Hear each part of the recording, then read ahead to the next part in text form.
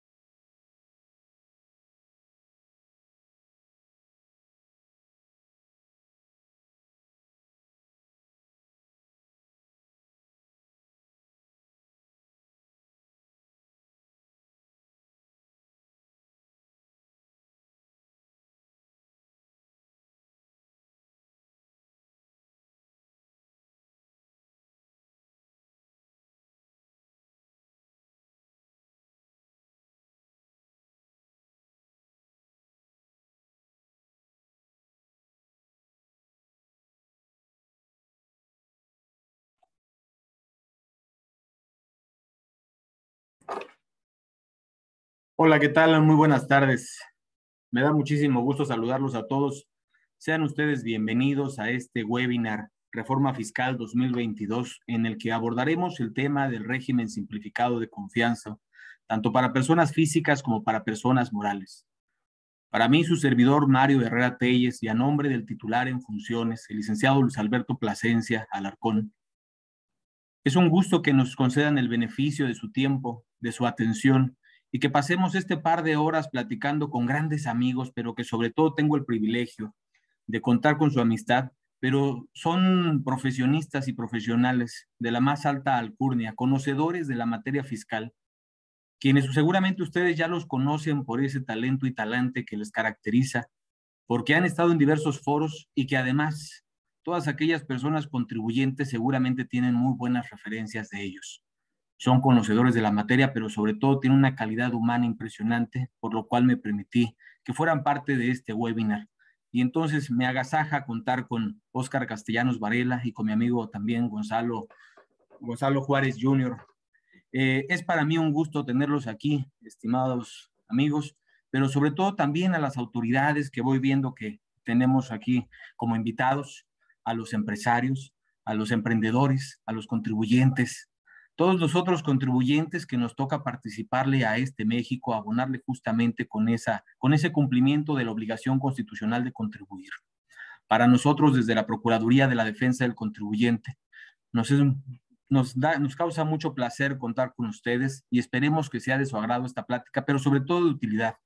Hablar de las reformas fiscales para cada año a nosotros nos parece muy grato, sobre todo porque tenemos conocimiento cierto de que un contribuyente que conoce, un contribuyente informado, es un contribuyente cumplido. Y tenemos también la convicción de que un contribuyente cumplido es un contribuyente que no tiene contingencias y que en caso de tener contingencias tiene la manera, la seguridad de que va a salir avante con ellas.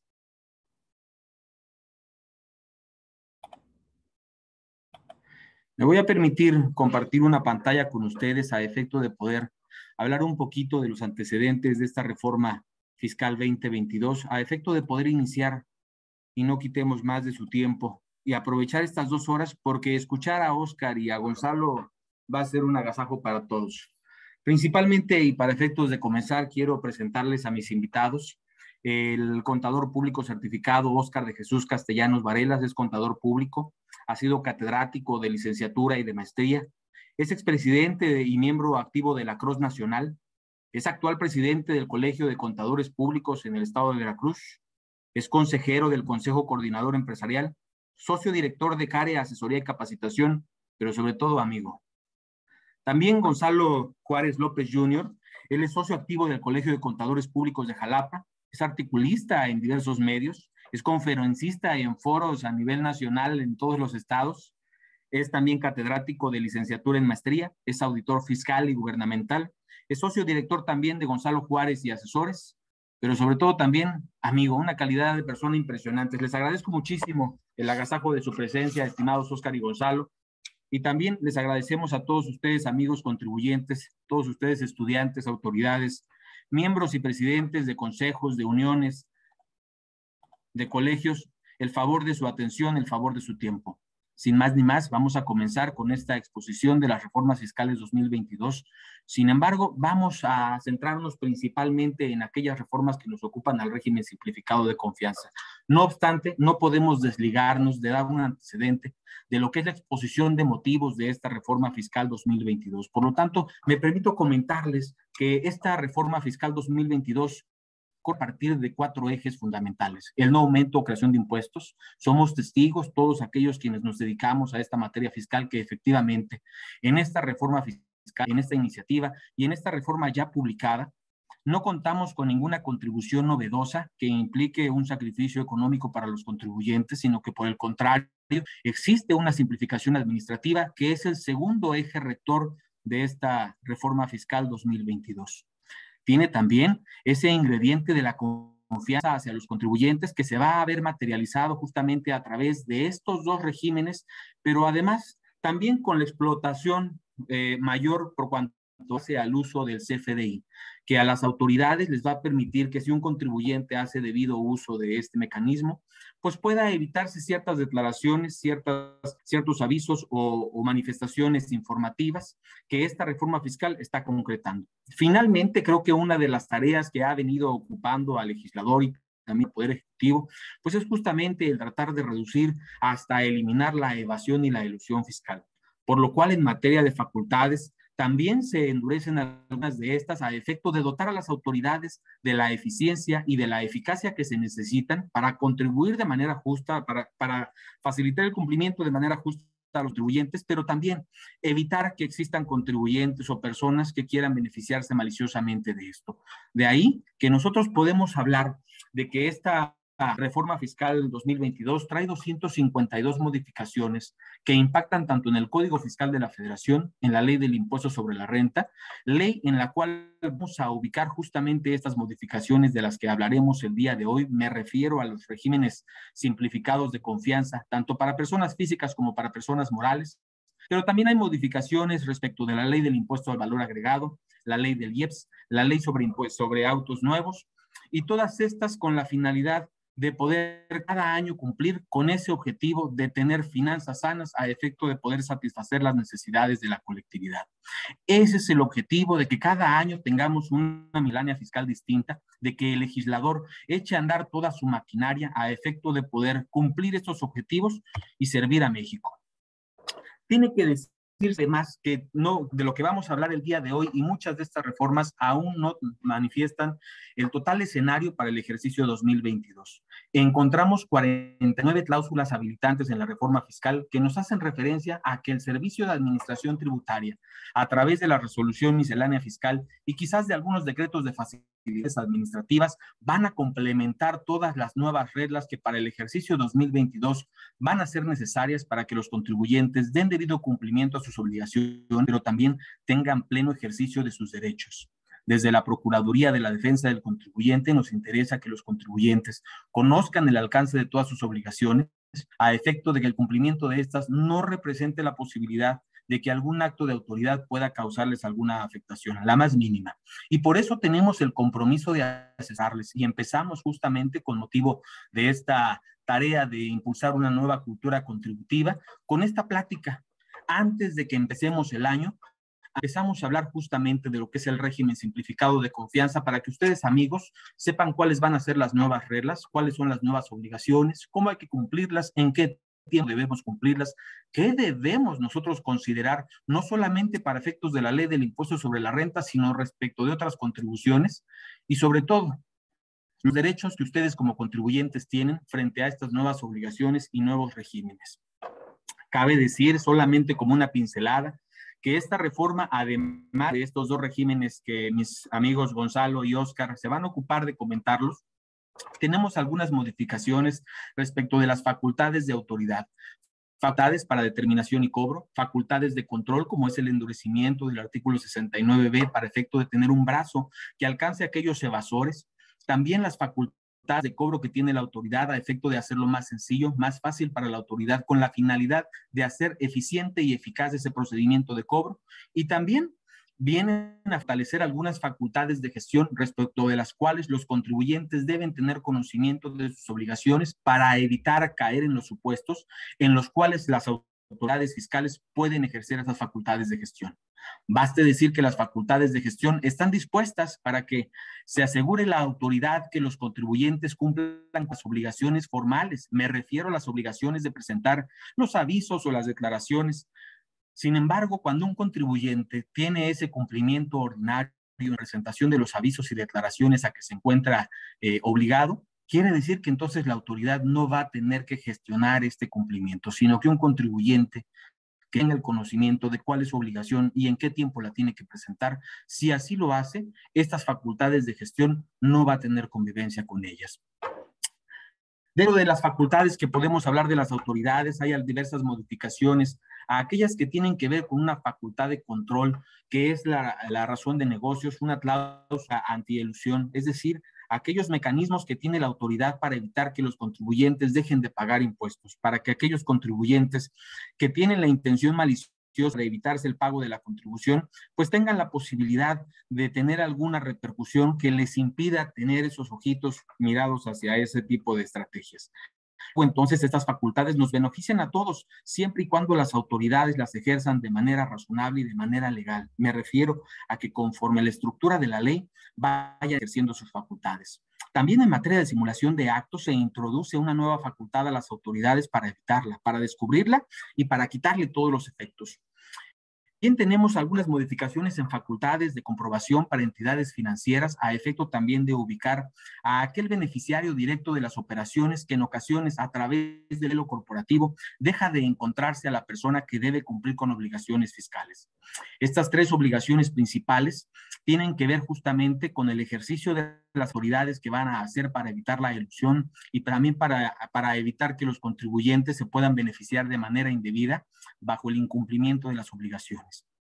Hay también el fortalecimiento para evitar esquemas de ilusión y evasión fiscal a través de las modificaciones tanto a la cancelación del certificado temporal de y esto sirve a las autoridades como una facultad de gestión que tiene la tarea de hacer cumplir a todos los contribuyentes las obligaciones que todos tenemos.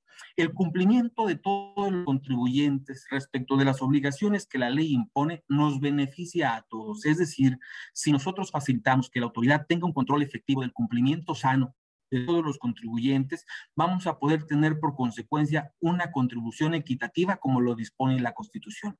Y finalmente también hay algunas facilidades para la autoridad respecto del embargo de bienes. En todo el ejercicio de la autoridad respecto de estas facultades, todos ustedes amigos cuentan con la asesoría, la defensa y la protección de la Procuraduría de la Defensa del Contribuyente. Es nuestro compromiso. Y bueno, vamos a comenzar a hablar de este régimen simplificado de confianza, que es lo que nos tiene reunidos el día de hoy. Y yo quisiera hablarles un poquito más bien de cuál es la exposición de motivos, cuál es la razón del Poder Ejecutivo para enviar estas propuestas. La primera de ellas en las cuales se sostiene esta intención del legislador de preparar estos regímenes simplificados de confianza, que ahorita vamos a ver materializados estos dos ingredientes, la simplificación y la confianza del gobierno respecto de los contribuyentes que cumplen sus obligaciones. El primer ingrediente es la reactivación económica. Este es el primer motor que le corresponde al Ejecutivo para impulsar este, estos nuevos regímenes. Existe la eliminación, y ahorita vamos a profundizar en ello, de algunos regímenes que ya trataban de simplificar el cumplimiento de la obligación sustantiva, es decir, el pago de las contribuciones. Sin embargo, vamos a ver cómo ampliamos el espectro de aquellas personas que van a ser beneficiadas con esta simplificación, tanto para personas físicas como para personas morales. Otro de los motivos por los cuales el Poder Ejecutivo envía esta propuesta es para otorgar una manera sencilla, rápida y eficaz para el pago de las contribuciones. La simplificación la vamos a ver justamente en la determinación y el pago de impuestos sobre la renta tendremos que ser muy cuidadosos en observar si nosotros convivimos o tenemos operaciones o actividades que tengan alguna resonancia respecto del impuesto al valor agregado y también respecto del impuesto especial sobre producción o servicios o alguna otra contribución. Porque debe decirse y decirse muy claro que este régimen simplificado de confianza, tanto para personas físicas como para personas morales, es exclusivo para la ley del impuesto sobre la renta. La simplificación también de las obligaciones formales es otro, de los motivos que expone el Poder Ejecutivo, pues como pone como antecedente que en la actualidad diversos regímenes para personas físicas implican el cumplimiento de diversas obligaciones formales, dentro de las cuales se encuentran obligaciones de presentar declaraciones informativas. Quizás la complejidad en la presentación de las declaraciones provisionales. Y vamos a ver en la exposición de mi amigo Gonzalo cómo es que esto se simplifica. También para, personas morales hay una simplificación, pero sobre todo en la parte del pago por la inclusión de estos contribuyentes a un esquema en el cual abandonaremos el devengo para poder entrar exclusivamente o de manera muy sencilla a la cuestión del flujo efectivo. Ya van ellos a hablar más específicamente de estos temas. También habla el Poder Ejecutivo de la explotación del uso del CFDI. Y por eso vamos a poder ver que en ambos regímenes existe la obligación de obtener los CFDI y también de expedirlos. El cumplimiento de esta obligación, es decir, cuando todos los contribuyentes solicitamos facturas electrónicas, cuando todos los contribuyentes emitimos facturas electrónicas por las operaciones que celebramos, va a facilitar que la autoridad conozca el debido cumplimiento de nuestras obligaciones. Y no solamente las obligaciones sustantivas del pago de impuestos, sino también aquellas obligaciones que le permiten a las autoridades administrar correctamente el cumplimiento de estas. También señala el Poder Ejecutivo que lo que pretende es establecer obligaciones simples y sencillas. Para el caso de persona física, dice que basta estar inscrito, tener la e-firma, actualizar su buzón tributario, emitir y solicitar los FDIs y entonces como consecuencia va a tener un pago sencillo.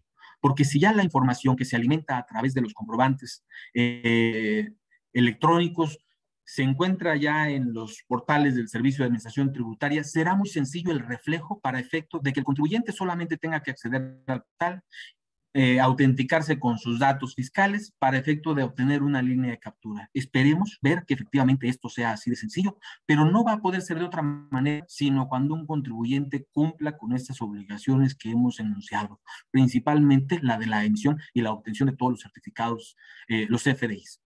Además, para personas físicas también se proponen tasas muy atractivas que van del 1 al 2.5%, tasas efectivas, es decir, que ya no vamos a tener que realizar diversos cálculos para saber cuál es la tasa que nos corresponde. Por lo tanto, aquí es donde vemos eh, materializada esa simplificación administrativa para la determinación y el pago se amplían los beneficios, es decir, estos beneficios y estímulos que anteriormente veníamos viendo en la ley, tanto como un estímulo para las personas morales respecto a este régimen que desaparece de las personas para tributar conforme flujo de efectivo, y el régimen de incorporación fiscal que también se deroga, vamos a ver que estos dos regímenes simplificados de confianza van a abarcar a más contribuyentes, es decir, le van a abrir la puerta a contribuyentes que no estaban incluidos y que además el monto, el umbral de los ingresos por los cuales se permite entrar a esos contribuyentes es mayor.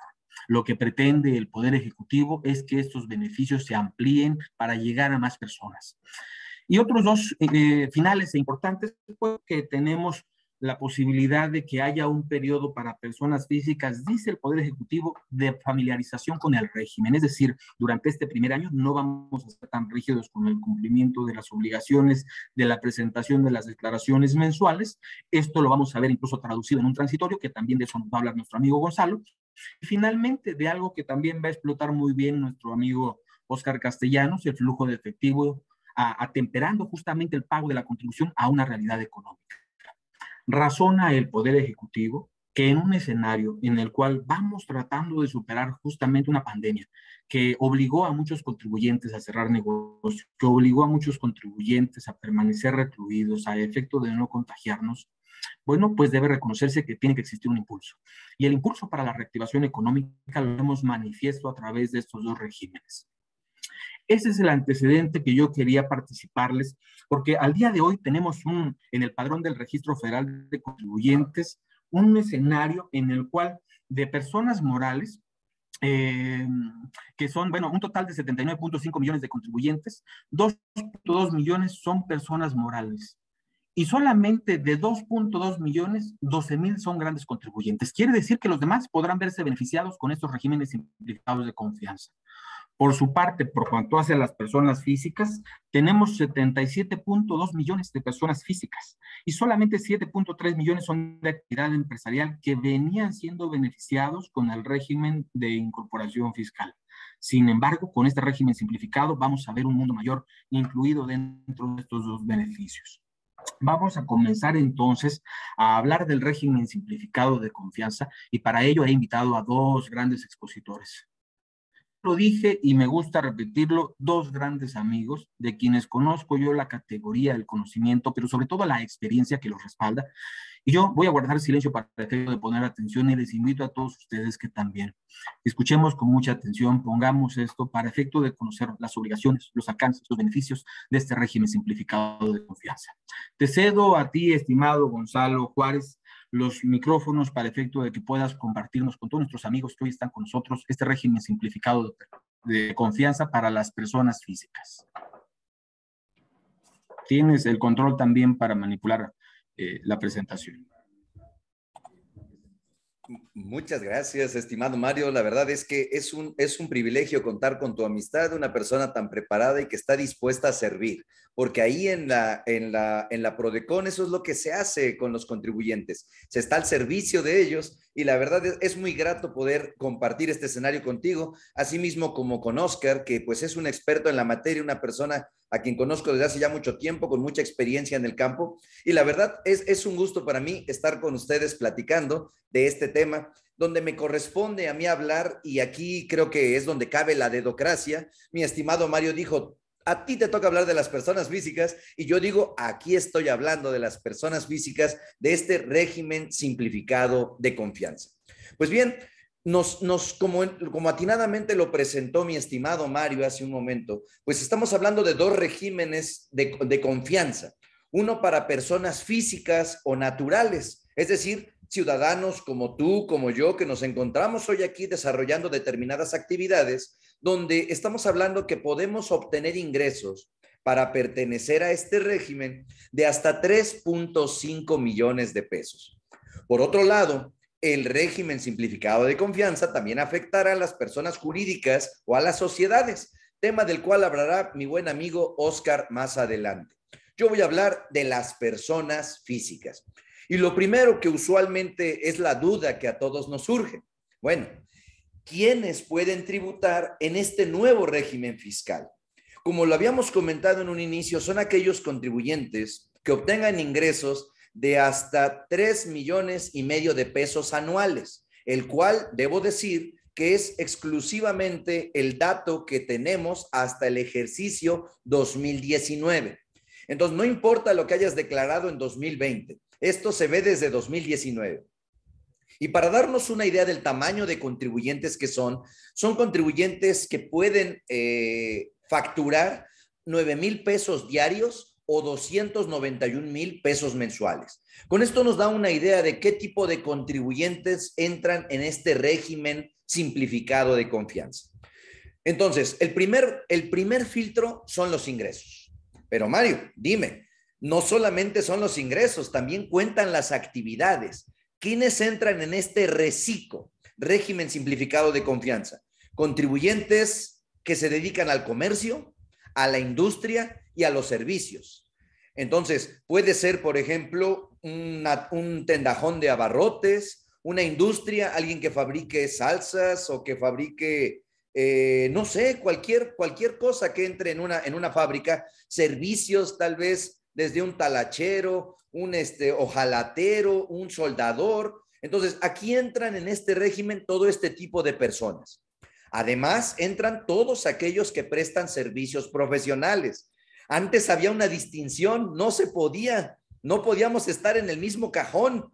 Los servicios, eh, digamos, los generales, carpintería, eh, lavandería, ¿no? Y los servicios profesionales estaban en otro lado. Hoy no para efectos fiscales, reúnen a los doctores, a los arquitectos, a los abogados, a los ingenieros y a todos los meten al mismo cajón, régimen simplificado de confianza.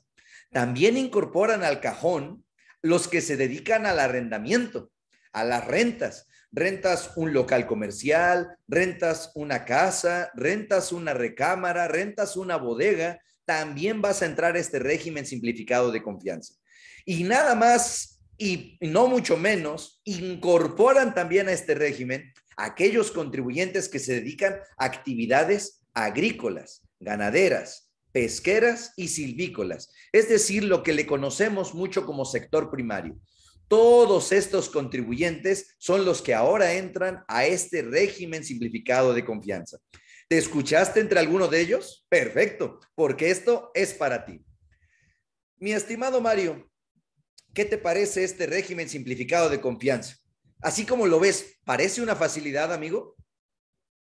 Y fíjate, yo estoy convencido que es una facilidad para muchísimos contribuyentes, pero ahorita que señalabas a todas esas personas que van a ser beneficiadas, Gonzalo, es cierto que el régimen de incorporación fiscal que se deroga con motivo de esta reforma fiscal 2022 no incluía a los del régimen de actividades profesionales no daba entrada quizás tampoco de manera exprofeso a los ágapes, ¿es cierto?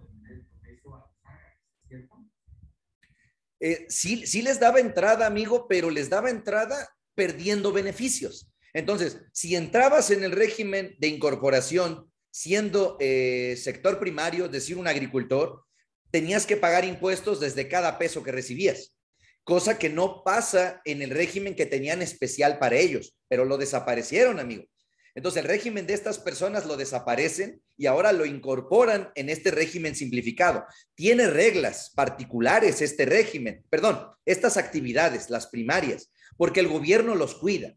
Pero eso es algo que de alguna manera sí necesita, tiene, tiene ciertas reglas de control. Y ahorita platicaremos de ellas, amigo. Pero si te parece, ahorita entraremos en el comentario, porque yo creo que es algo, algo importante que a diferencia del pasado, hoy pueden tributar en este régimen personas, reciclo, como aquí lo vemos, que además tengan ingresos por salarios e ingresos por intereses. Entonces, a la mejor profesionista independientes, tienes tus despacho, tu despacho, facturas tus recibos de honorarios y además tienes un trabajo, ah, perfecto, puedes entrar en reciclo. Tienes un ahorrito y te genera intereses, puedes entrar en reciclo. La única limitante que nos ponen es los 3 millones y medio de pesos. 3 millones y medio de pesos. Ese es el único límite que nos ponen. Entonces, esto de entrada me parece algo que es todavía más incluyente para que mayor número de contribuyentes se vean beneficiados con este régimen. Pero, amigo, no todo es miel sobre hojuelas, ¿verdad? Así como hay los que entran, hay algunos que no entran. Entonces, de los que acabamos de platicar. Fíjense, aquí empieza lo duro. Estimado contribuyente, dentro de los que ya dijiste, yo soy simplificado de confianza, yo soy reciclo. Si eres socio o accionista, no puedes entrar a reciclo.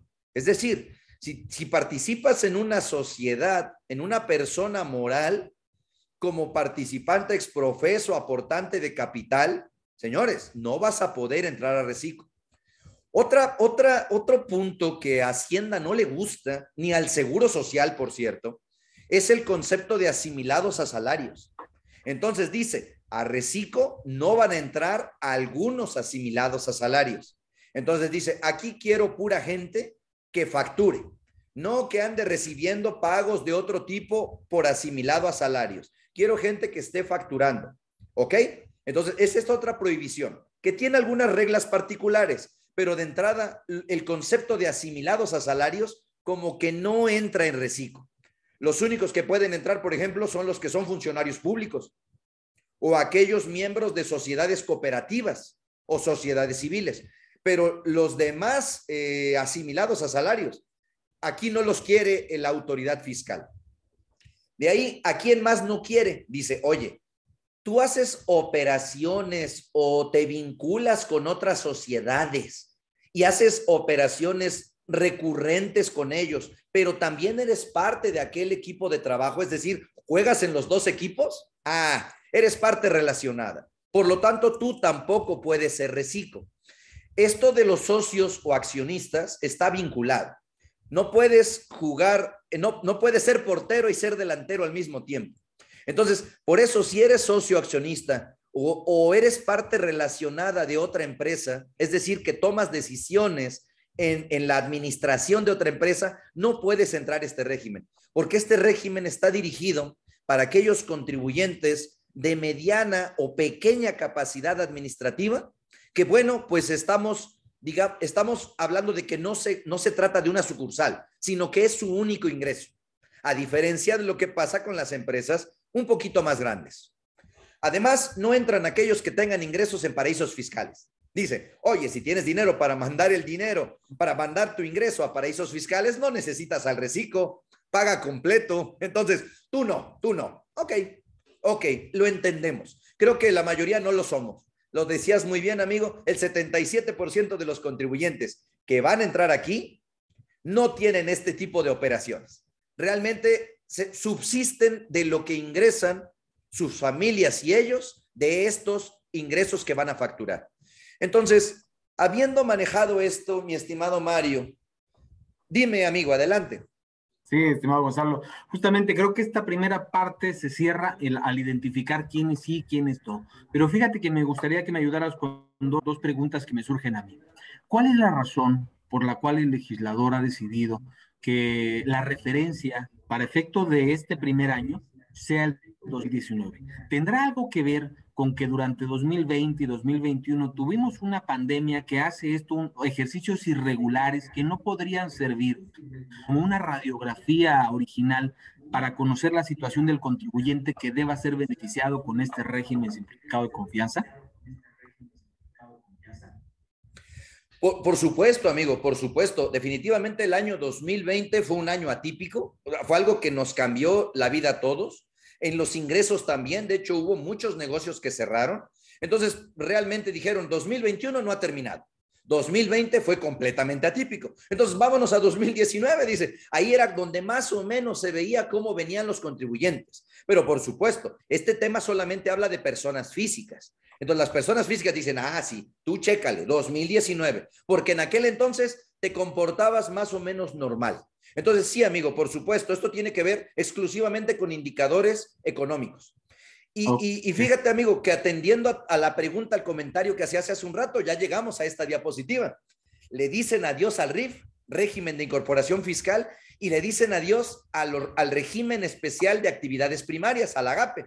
Entonces, estos desaparecen, los incorporan a este régimen simplificado de confianza. Claro, el RIF puede seguir existiendo, porque el SAT dice, bueno, si quieres, te dejo, te dejo seguir aquí, pero tienes que avisarme.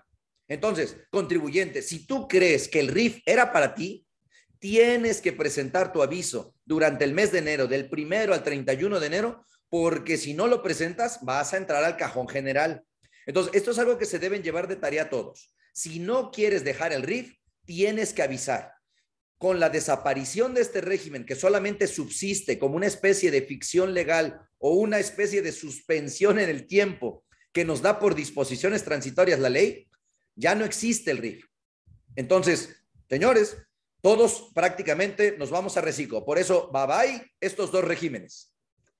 Solamente las personas del régimen de incorporación fiscal son quienes van a tener que hacer esta manifestación del aviso de permanecer, porque eh, se elimina, pero ellos no tienen esta posibilidad de permanecer conforme el 74 fracciones a que se deroga, ¿verdad, eh, Gonzalo?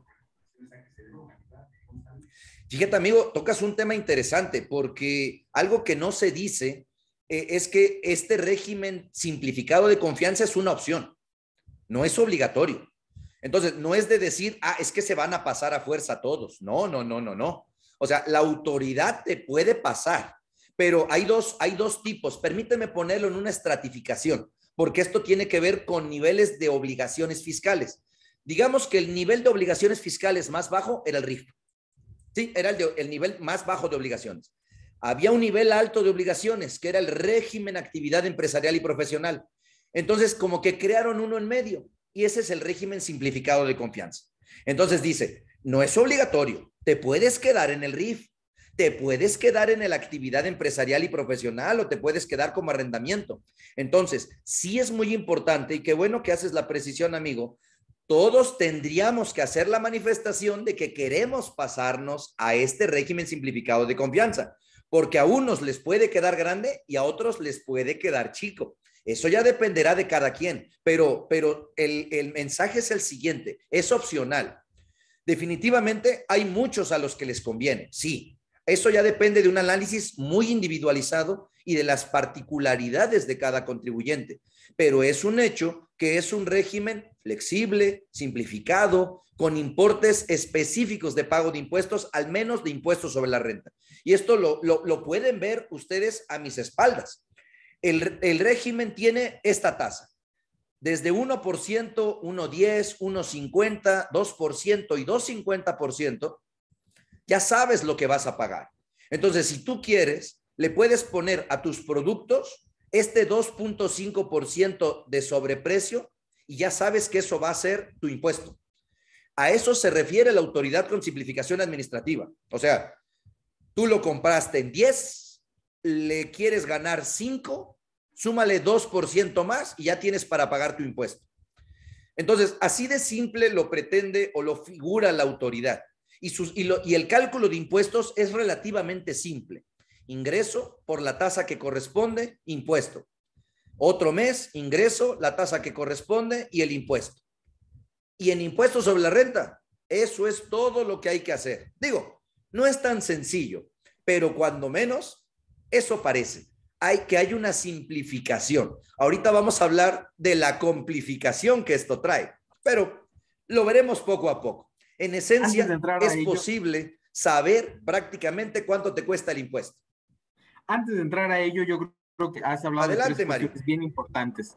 La primera de ellas, que efectivamente al ser un régimen optativo, todos los contribuyentes tendremos que presentar antes del 31 de enero de 2022, quienes queramos estar en este régimen simplificado de confianza, que seamos personas físicas con actividad empresarial, profesional, que nos dedicamos al arrendamiento, que hayamos ido RIF, que tengamos actividades del sector primario, vamos a tener que presentar nuestro aviso. Fíjate que a mí me habían llegado algunas preguntas de muchos contribuyentes que decían, oye, yo siendo RIF, tengo que presentar un aviso para ser RIF.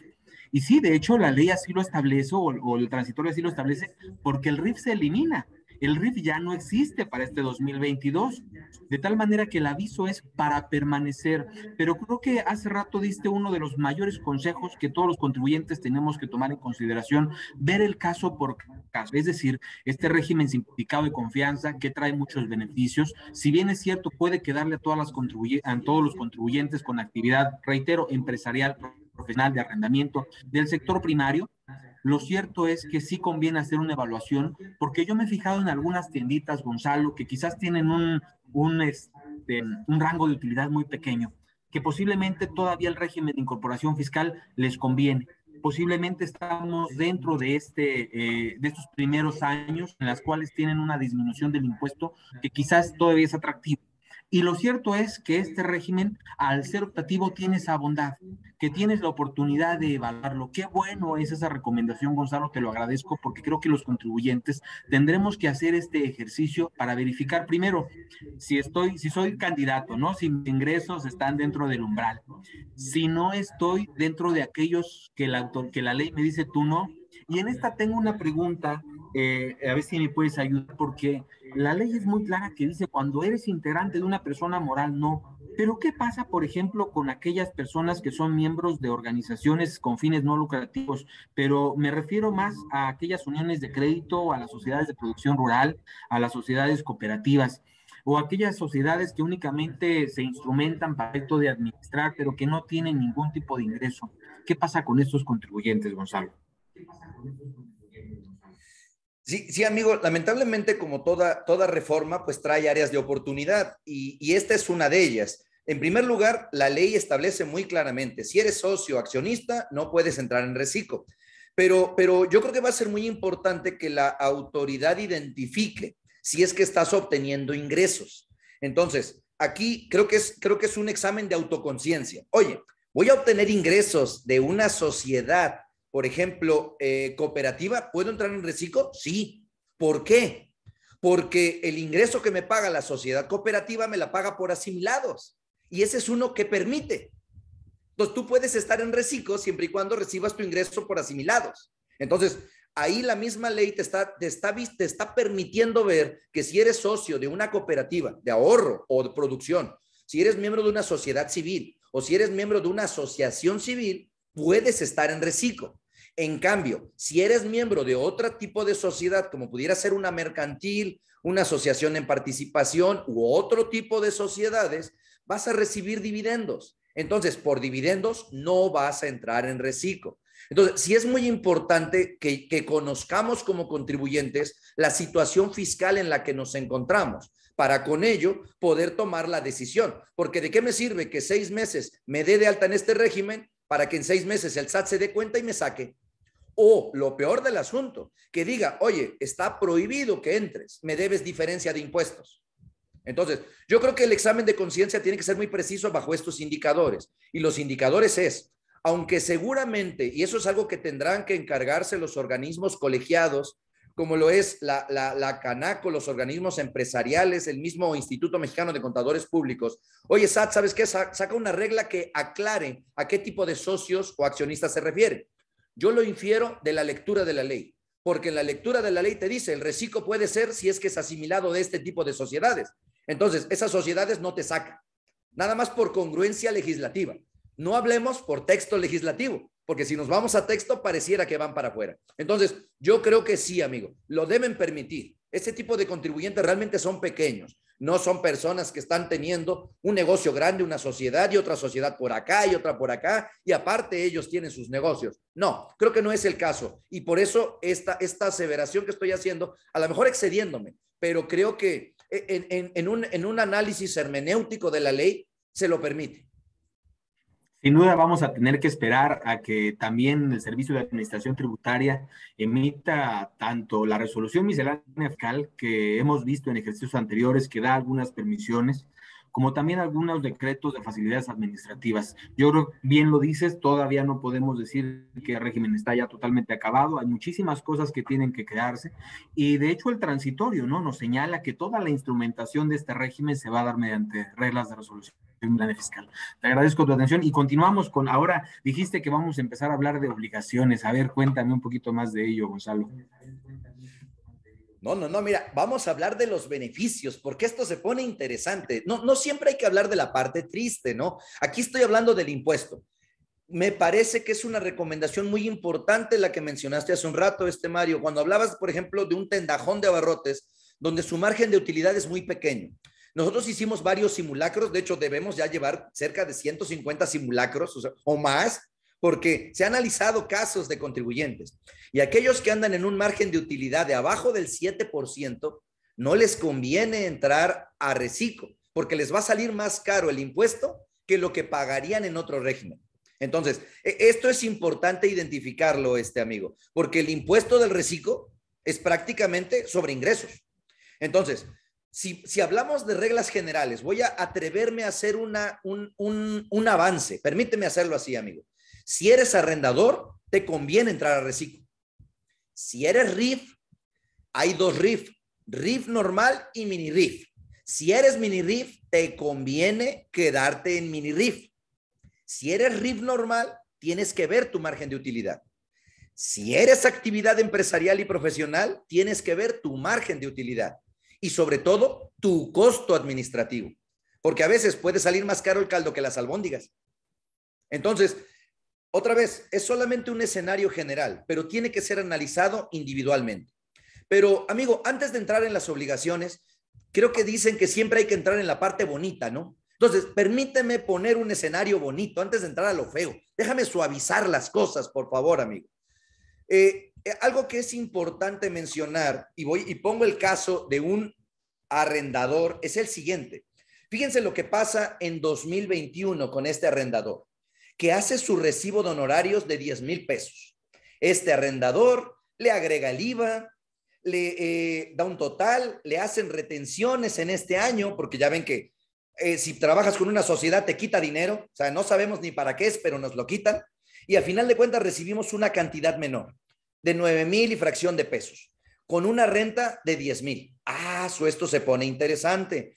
¿Qué pasa en el 2022? Si tú entras al reciclo, este mismo recibo de 10 mil pesos tiene su IVA, el cual queda igual porque con el IVA no nos metemos, el IVA no es discusión aquí, pero fíjate lo que pasa con tus descuentos. Aquí te descuentan de ISR solamente 125 pesos. Mira, haz un mecha, 125 pesotes, cuando antes te descontaban mil. Entonces, ¿qué va a pasar con el bolsillo del arrendador? Va a recibir ahora 10,408 pesos. A esto se refiere el Ejecutivo Federal con que va a promover la reactivación económica, porque ellos están dejando de recibir casi 900 pesos o un poquito menos de 900 pesos y se lo está dando a los contribuyentes directo. Entonces, aunque no subas la renta, tu pago de renta va a ser más alto. Aunque no subas el honorario, el cobro del honorario va a ser más alto. Esto va a haber que explicárselo a los contribuyentes porque va a haber algunos que van a decir, ya me subieron la renta, ya me subieron el honorario, pero no es así. Entonces, esto es muy importante que los contribuyentes, yo, yo siempre lo digo, aun cuando tratamos de explicárselos muchas veces, la verdad es que sí requieren un contador que les ayude a entenderlo ya en la práctica, porque a veces los flujos de efectivo no es lo mismo que los impuestos.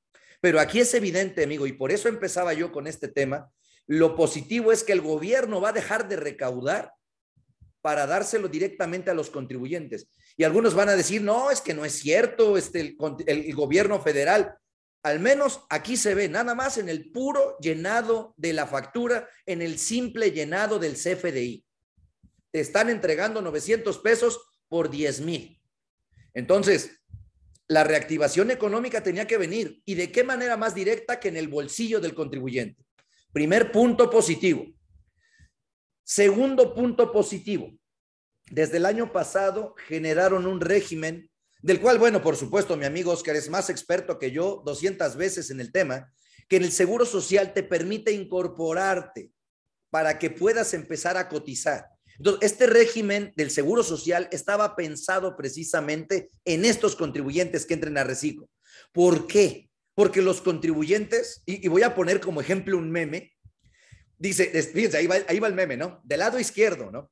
Está el asalariado, el, el asalariado y su aguinaldo, aso, los fajos de billete, de monedas y todo.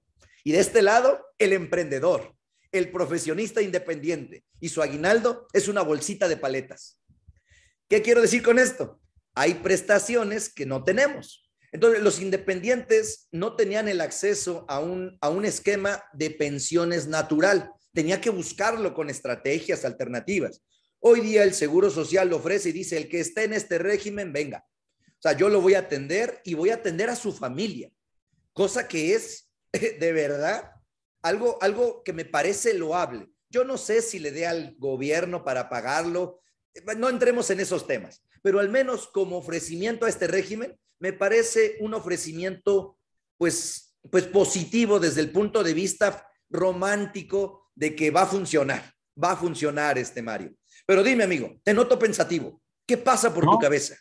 Yo creo que entonces podemos aseverar con absoluta confianza que son tasas muy atractivas, que no solamente están propiciando la reactivación económica del contribuyente que al día de hoy ya es contribuyente en el RFC, sino que incluso a aquellos contribuyentes que al día de hoy están en la informalidad les puede resultar atractiva una tasa que va del 1 al 2.5%. Son tasas muy pequeñas. Cierto, como ya lo dijiste y también apuntalarlo, estimado Gonzalo, que son únicamente sobre los ingresos cobrados y que también va sin deducciones. Es decir, estas tasas son efectivas para el nivel de ingresos que tenga el contribuyente que efectivamente cobra. Y yo creo que sí podemos apuntalar y, sostener que efectivamente estas tasas tan atractivas como las vemos, a todos los contribuyentes les van a llamar la atención. Creo que tenemos que tener ese análisis previo, como lo dices, de mi situación particular para efecto de conocer si este régimen me produce a mí el beneficio esperado, el beneficio que el legislador y el ejecutivo han querido propiciar. Sin embargo, por cuanto hace las tasas, es un beneficio enorme. No lo habíamos visto antes, no tiene precedentes este tipo de tasas efectivas. Cuando menos en México, no, amigo, pero pues a veces se copian modelos de otros países. Esperemos, insisto, eh, cuando, quitándole el tema romántico a esto, porque yo lo estoy planteando muy romántico, ¿no? Lo que dice la ley, lo que se pretende en la mente del Ejecutivo y del programa, paquete económico que se presentó, bueno, eso es lo que se espera. Vamos a ver cómo funciona en la realidad porque realmente son, son efectos que a veces no vemos de bote pronto, ¿no? Ya lo notamos al cabo del tiempo. Ya, ya veremos qué pasa, ¿no? Pero dije, antes de entrar en las obligaciones, amigo, pues platico de las cosas bonitas, ¿no? O sea, como para qué nos ponemos violentos desde el inicio. Vamos a ir poco a poco. Ahora, siguiendo adelante con este tema, amigo, pues vamos a platicar ahora eh, de, del, de las obligaciones. Bueno, pues no nos gustan mucho las obligaciones, pero la primera obligación es inscribirse al Registro Federal de Contribuyentes. Aquí es donde se pretende realmente incrementar el padrón de contribuyentes. Y, yo hago una, reflexión respecto a, ese, a, ese, a esa reforma de inscribir a los mayores de 18 años. Eso no es incrementar el padrón de contribuyentes, eso son facultades de control. La autoridad quiere tener identificado a los contribuyentes. Este sí es un incremento en el padrón de contribuyentes activos, pagadores de impuestos. Entonces, aquí sí se va a presentar un posible incremento en el padrón. ¿Por qué? Porque ahora las diferentes autoridades, tal vez las este, municipales o las estatales, pues te podrían pedir para, para autorizarte una apertura de establecimiento o para autorizarte un, este, un, permiso de, uso de suelo o hasta para incorporarte en un mercado público, que le presentes tus pagos de impuestos y tu constancia de RFC. Y ya vas a ver cuánto ingresas. Y te va a decir, no, no, ingresas mil pesos, no te doy permiso, hombre, pues no, no, no, no te va a dar para pagarlo. Entonces, son, son, son facultades de control y de gestión de la autoridad fiscal en todos sus niveles. Pero me regreso. Inscripción al RFC. Número dos, deben tener e-firma y buzón tributario. Y esto es otra vez una cuestión de control. La autoridad ya no quiere solamente tener RFCs, quiere tener la foto del contribuyente, sus huellas digitales, el iris de sus ojos y todos los datos biométricos que de todos los contribuyentes deba tener. Aquí veo un problema muy grave, amigo. Yo no sé si le va a dar tiempo a la autoridad, si va a tener la capacidad de atender a todas las personas que necesitarían darse de alta en el RFC de manera formal y activar su buzón tributario. Pero bueno, aquí está la obligación. Ya veremos qué es lo que sucede. Y el más preocupante, amigo, de las obligaciones, la más preocupante de las obligaciones, porque estas son de única ocasión. O sea, no pasa nada, no. Lo hago una sola vez y para siempre. Ya quedó marcado de por vida. Pero la siguiente obligación que dice expedir los FDIs por la totalidad de los ingresos percibidos me va a llevar a tres reflexiones, cuando menos, que en este momento voy a compartir con ustedes. Número uno, hay una corresponsabilidad. Hay una corresponsabilidad entre el contador y el empresario. Emitir los FDIs ya no va a ser labor de que, ahí se lo dejo al contador que emita lo que quiera. Debe haber una corresponsabilidad, porque la expedición de los FDIs, de preferencia, debe ser en tiempo. Este es uno de los problemas más graves del CFDI. Debe ser en tiempo. Entonces, yo creo que aquí van a ser una nueva relación de responsabilidad entre el contador y el empresario, más estrecha, de más comunicación o mínimo de mayor conocimiento del empresario sobre su situación fiscal. Porque muchas veces decía, contador, yo te entrego y tú sabes lo que haces. Creo que es algo que tiene que cambiar poco a poco. No va a ser sencillo, pero el empresario debe empezarse a preocupar por la expedición de sus FDIs. Y esto no va a ser de la noche a la mañana, va a requerir tiempo. Paradigma número uno. Paradigma número dos. Respecto a la expedición de CFDIs, los CFDIs van a ser la base del cálculo del impuesto fiscal. El SAT, en el incremento de sus facultades de gestión, ahora le va a mandar a los contribuyentes un papelito que va a decir, de acuerdo a tus FDIs, este es tu pago de impuestos. Y el contribuyente puede tomarlo o dejarlo, pero la verdad es que usualmente lo va a tomar. O sea, lo va a tomar porque va a ser lo que la autoridad ya le dijo. Si quiere cambiarlo, tiene que cambiar sus FDIs. O sea, no es de que nada más le borro y pongo otro número. Ya no. Ahora va a tener una vinculación muy estrecha con los FDIs que si quiere modificar algo de sus declaraciones, tendrá que modificar los FDIs que emitió. Por eso, este paradigma número dos, de que el cálculo de impuestos va a venir desde el SAT, validado tal vez por el contador, pero con la base de los FDIs. Por eso esto ya no puede ser exclusivo labor del contador, tiene que haber una corresponsabilidad del contribuyente.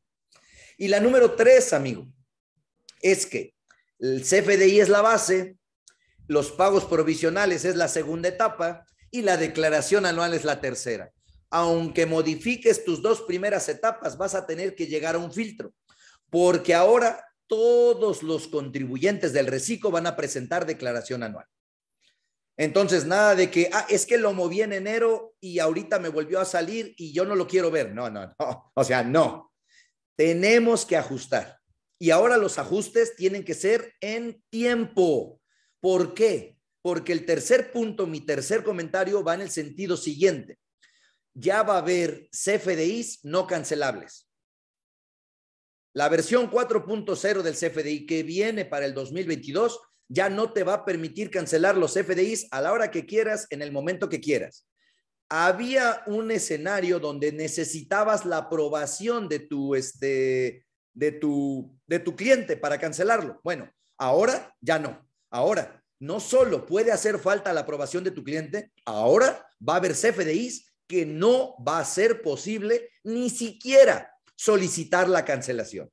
Entonces, la comunicación empresa, administración con contador, declaraciones fiscales, creo que debe ser más estrecha, cuando menos durante un periodo de aprendizaje y preparación. Y si el contribuyente no desea aprender, bueno, seguramente ese periodo de preparación y aprendizaje va a ser más largo o tal vez nunca llegue, porque puede el empresario decidir. Yo no quiero saber de eso, que se encargue un contador. Yo me encargo de mi negocio. ¿Y saben qué? Se vale, pero hay una corresponsabilidad. Entonces, aquí es donde empezamos en el tema interesante de las obligaciones, porque ya no es de que, oye, contador, muévele. No. Si vamos a mover, se mueve todo, todo desde el inicio. Y el inicio tiene que ver con los FDIs. Y los FDIs son no cancelables. Ojo, no cancelables. Entonces, esto va a traer un cambio de paradigmas impresionante, ya que al 31 de diciembre, si yo me iba de vacaciones, ahora voy a tener que estar ahí un poquito más atento, ¿no? Ya veremos qué sucede con esto, ya veremos si la autoridad flexibiliza un poco esto con reglas de carácter general, con resolución miscelánea, pero pues como lo está pintando al menos, el 2022 va a ser un año de aprendizaje. Ya veremos qué sucede en el futuro. Claro, Gonzalo. De hecho, fíjate, aquí todavía en estos tres eh, principales obligaciones a mí me gustaría hacer algunos comentarios respecto a la inscripción desde la Procuraduría de la Defensa del Contribuyente. Fíjate que lo hemos visto con buenos ojos, porque diversos contribuyentes que han solicitado nuestro auxilio han visto, pues, mal empleado su RFC, sobre todo aquellas personas que no tenían alguna obligación de inscribirse porque no tenían una actividad, que de repente algunas personas con intenciones maliciosas se hicieron de esos datos para efecto de generar el registro federal. Conocemos que hasta hace unos, algunas semanas era posible generar el registro federal de contribuyentes únicamente con la CURP. Y entonces si una persona tenía acceso a tu CURP, hubo quienes se aprovecharon de eso y generaron algunas complicaciones y contingencias para contribuyentes. Creo yo que esta obligación que ahora el legislador incluye en el artículo 27 va a potenciar que seamos nosotros poseedores y además tengamos el poder sobre nuestra información fiscal, que es importantísimo. Y en esto aprovecho para comentarlo. Todas aquellas personas mayores de 18 años, tanto jóvenes, amas de casa, todas aquellas personas que no realizan una actividad pero que ya por ley van a estar obligadas a inscribirse en el registro federal de contribuyentes, es importante que se fijen en el atributo de estar sin actividad económica porque el hecho de estar inscrito en el RFC no le implica de manera automática el cumplimiento de obligaciones formales o el pago de impuestos y tampoco la aplicación de sanciones. El legislador creo que cuando concluye la norma es brillante al señalar ahí, contribuyente, si no tienes actividad, hazlo bajo este atributo de personas sin actividad económica, a efecto de que no tengas obligaciones de presentar avisos, de que no tengas obligaciones de presentar declaraciones, de que no tengas que pagar impuestos, pero sobre todo que no tengas sanciones porque había una sanción prevista específicamente para las personas obligadas a inscribirse, que ya no le va a ser cables a las personas físicas que no tengan actividad económica. Al día de hoy, también en cumplimiento del Código Fiscal de la Federación, solamente van a tener que cumplir con el pago de impuestos aquellas, aquellas personas que realicen alguna actividad económica o perciban aquellos ingresos que puedan ser grabados o, o que sean relevantes para la ley del impuesto sobre la renta. Entonces, esta inscripción, creo yo, que posiblemente lo que va a hacer es justamente darle a, la persona ese poder sobre sus derechos de información fiscal y sobre todo evitar algunas líneas, anticipar contingencias fiscales si es que de repente tenía ya alguna obligación que no me corresponde. Me ha parecido un acierto, fíjate, esta inscripción al RFC. Y respecto del buzón tributario, a mí me gustaría resaltar que yo no he visto mejor comunicación entre contribuyente y autoridad, ni mayor facilidad, y eso nos reveló todavía más esta contingencia este, sanitaria que nos ha recluido que tuvo, que obligó también a la autoridad a potenciar muchísimo aquellos servicios a distancia. Yo me acuerdo anteriormente pensar que yo podía renovar mi, mi e-firma, pues siempre lo, lo, lo refería a mi obligación de acudir ante las autoridades, ¿no? Y ahora con esta herramienta que se llama SAT-ID, bueno, pues han facilitado en muchísimos casos la generación tanto de la contraseña como de la e-firma. Yo creo también que la e-firma puede ayudar a muchísimos contribuyentes a tener justamente el debido cumplimiento de su obligación y garantizar su autenticidad de los documentos que genere, de las facturas que emita, para efecto de que muchos contribuyentes que al día de hoy pueden facturar con la e-firma, pues lo hagan de manera sencilla. Por lo tanto, esta obligación, además, creo que ya lo veníamos cumpliendo muchísimos. Quienes van a tener que hacer esta operación, cuenten con los servicios de la Procuraduría de la Defensa del Contribuyente. Ya al día de hoy somos testigos de que cada vez más hay posibilidades de agendar una cita y con la facilidad que se ha previsto de la fila virtual, no sé si has tenido oportunidad de convivir con ella, Gonzalo, pues es una maravilla en la cual ya te formas tú sin necesidad de estar buscando. Yo me acuerdo cuando empezó la pandemia, estábamos ahí incluso cazando las citas. Al día de hoy, si necesitas una cita, te inscribes en esa fila virtual y el sistema te manda un aviso cuando ya hay disposición. Y qué bueno que el Servicio de Administración Tributaria también ha puesto sus ojos en solucionar estas problemáticas que muchos contribuyentes se enfrentaron porque no estábamos preparados para una pandemia. Pero fíjate, estas cosas malas nos dejan muy buenos aprendizajes. Y por cuanto hace a los FDIs, yo creo que, fíjate, eh, es, yo creo que siempre va a ser eh, materia de debate el hecho del uso del CFDI.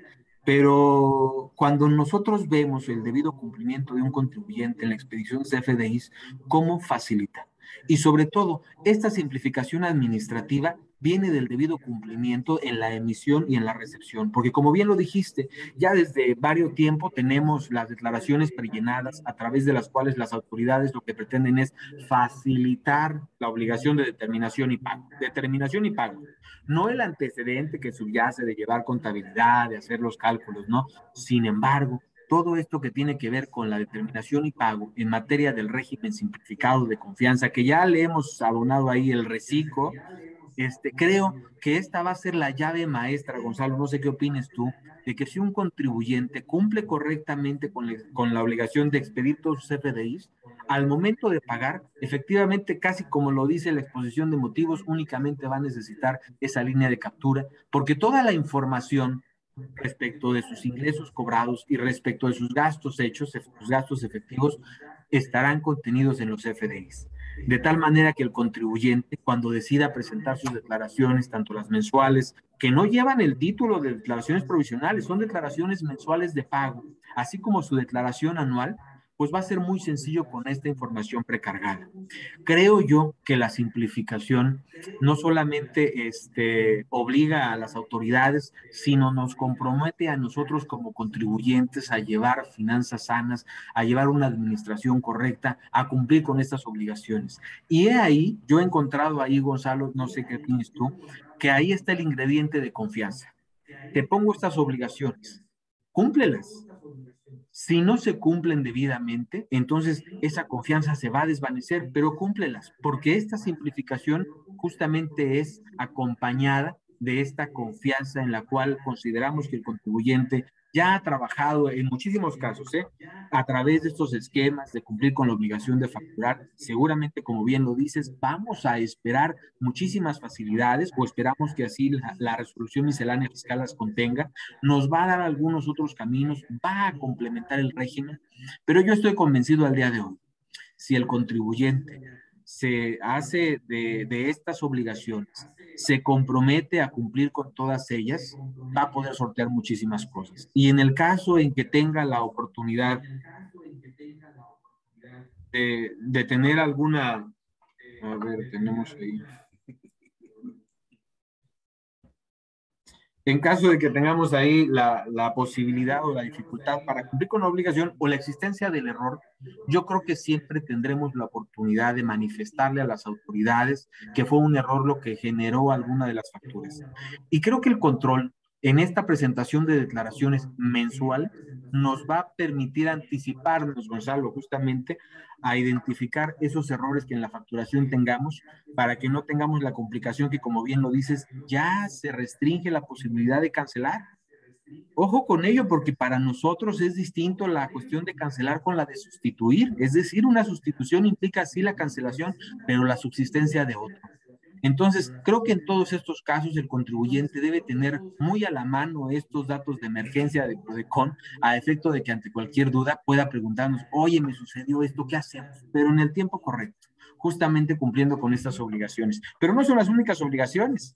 Continuemos hablando de ello. Muchísimas gracias, Gonzalo. No, amigo, pues es que esto sigue, digo, no, no era tan sencillo, aunque la verdad las siguientes obligaciones tal vez ya sean más de un debido cumplimiento, como bien lo manejas, que una preocupación. Entonces, fíjate, yo, yo creo que solamente le agregaría a tu comentario de hace un momento el hecho de que las obligaciones creo que van aparejadas del conocimiento de la ley y el conocimiento va aparejado también del conocimiento del CFDI. Creo que hasta hoy, hasta 2021, tenemos ya realmente un CFDI fortalecido, probado, revisado por la autoridad y apenas hoy inicia el camino de ascenso. Todo este tiempo ha sido de turbulencia desde el 2014 que entró en vigor y apenas hoy ya le encontraron muchos sentidos al CFDI y apenas hoy lo están aprovechando como debería. Pero bueno, vamos a dejar ahí el comentario y estoy seguro que muchos contribuyentes podrán mejorar en su, en su proceso de control y de cumplimiento ya cuando comprendan en qué, en qué se basa la información fiscal para declarar. Pero lo veremos. Lo otro que tenemos es, es una obligación obtener y conservar el CFDI de gastos e inversiones. Oye, ¿para qué los quiero si, si para mis impuestos yo pago solamente con los de ingresos? Ah, porque si tienes trabajadores, tienes que determinar la utilidad para PTU y para eso necesitas CFDIs. Entonces, las obligaciones laborales son aparte, ¿eh? esas se tienen que seguir cumpliendo cuidando los comprobantes de gastos e inversiones. Tienes obligación de presentar declaraciones mensuales y anual. Debes estar activo en el RFC. Debes estar al corriente de tus obligaciones fiscales y no debes estar en el listado definitivo del artículo 69b. Yo creo que todas estas solamente tienen que ver con que no hay que ser mal portado, ¿verdad? Nada más tenemos que ir cuidando, eh, repetir mis comprobantes de gastos, presentar mis declaraciones, pagar mis impuestos y no estar dentro de esos que hacen operaciones que luego dicen que desaparecen. Creo que ahí lo podríamos dejar. Entonces, amigo, si, si, si lo podemos ver como que, ¿qué otras cosas podemos rescatar de este régimen? Pues es, ¿qué pasa si dejo de cumplir? Bueno, los contribuyentes incumplidos como castigo me los van a sacar del régimen simplificado de confianza. Y en teoría no van a volver a regresar. Pero dice, ahí vienen las facilidades.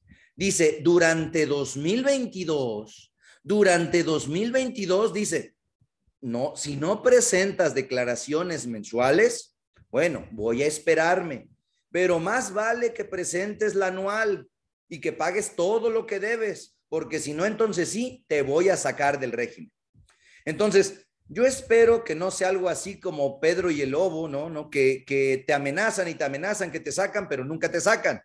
Porque entonces los contribuyentes cumplidos, preocupados, dicen, oye, pues yo que cumplo, de todos me vienen a ver, y aquel que no cumple, no le hace nada, no se vale.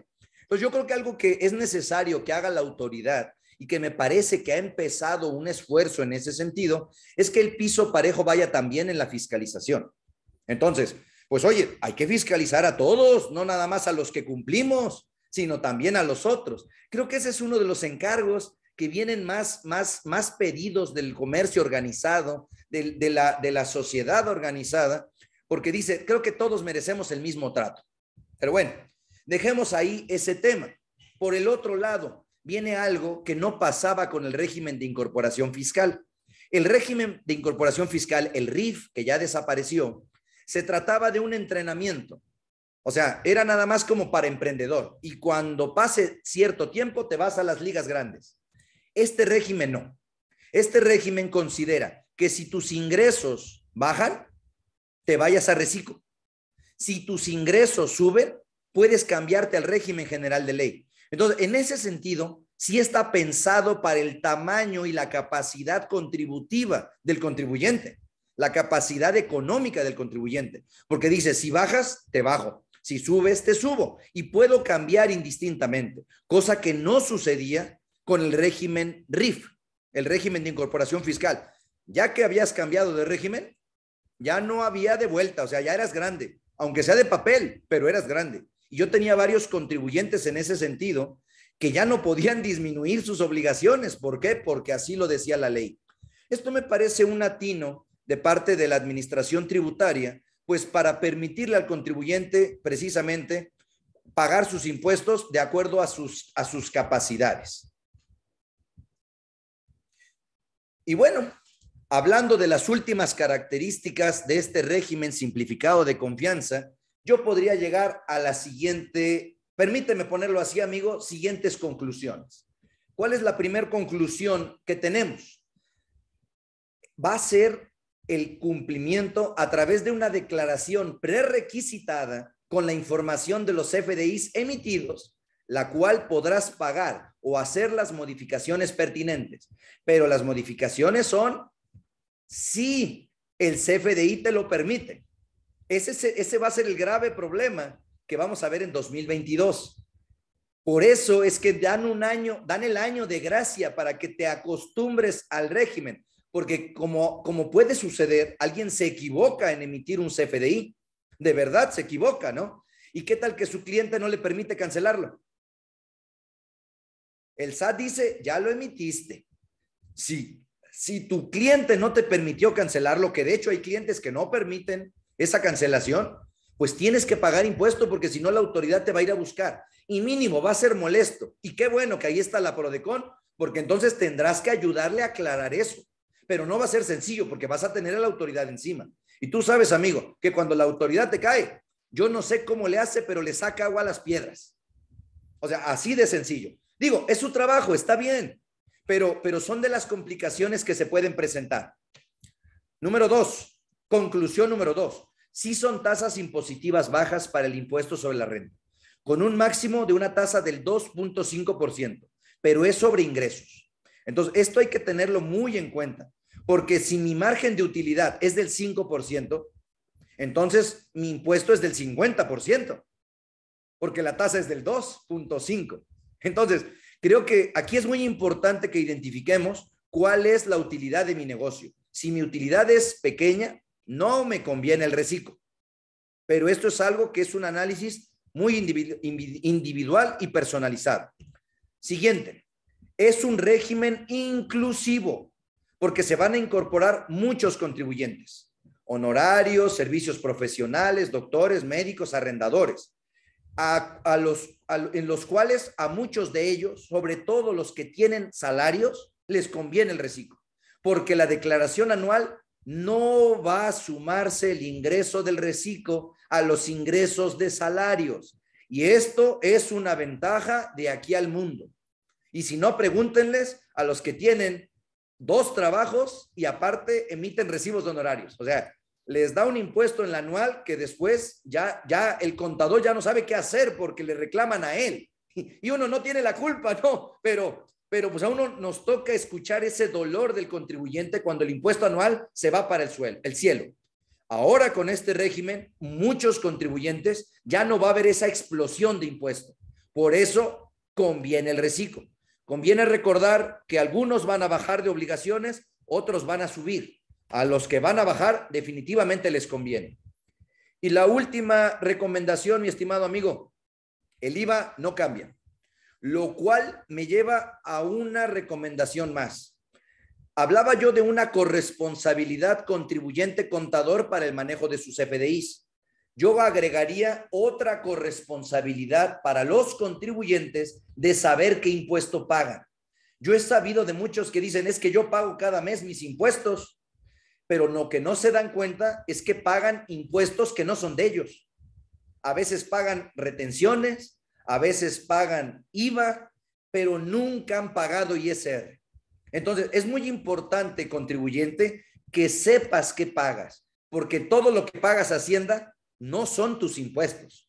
Hay impuestos que solo los agarras y los avientas a Hacienda. Y hay impuestos que realmente salen de tu bolsa y se los pagas a Hacienda. Es muy valioso y es algo que he compartido toda la vida.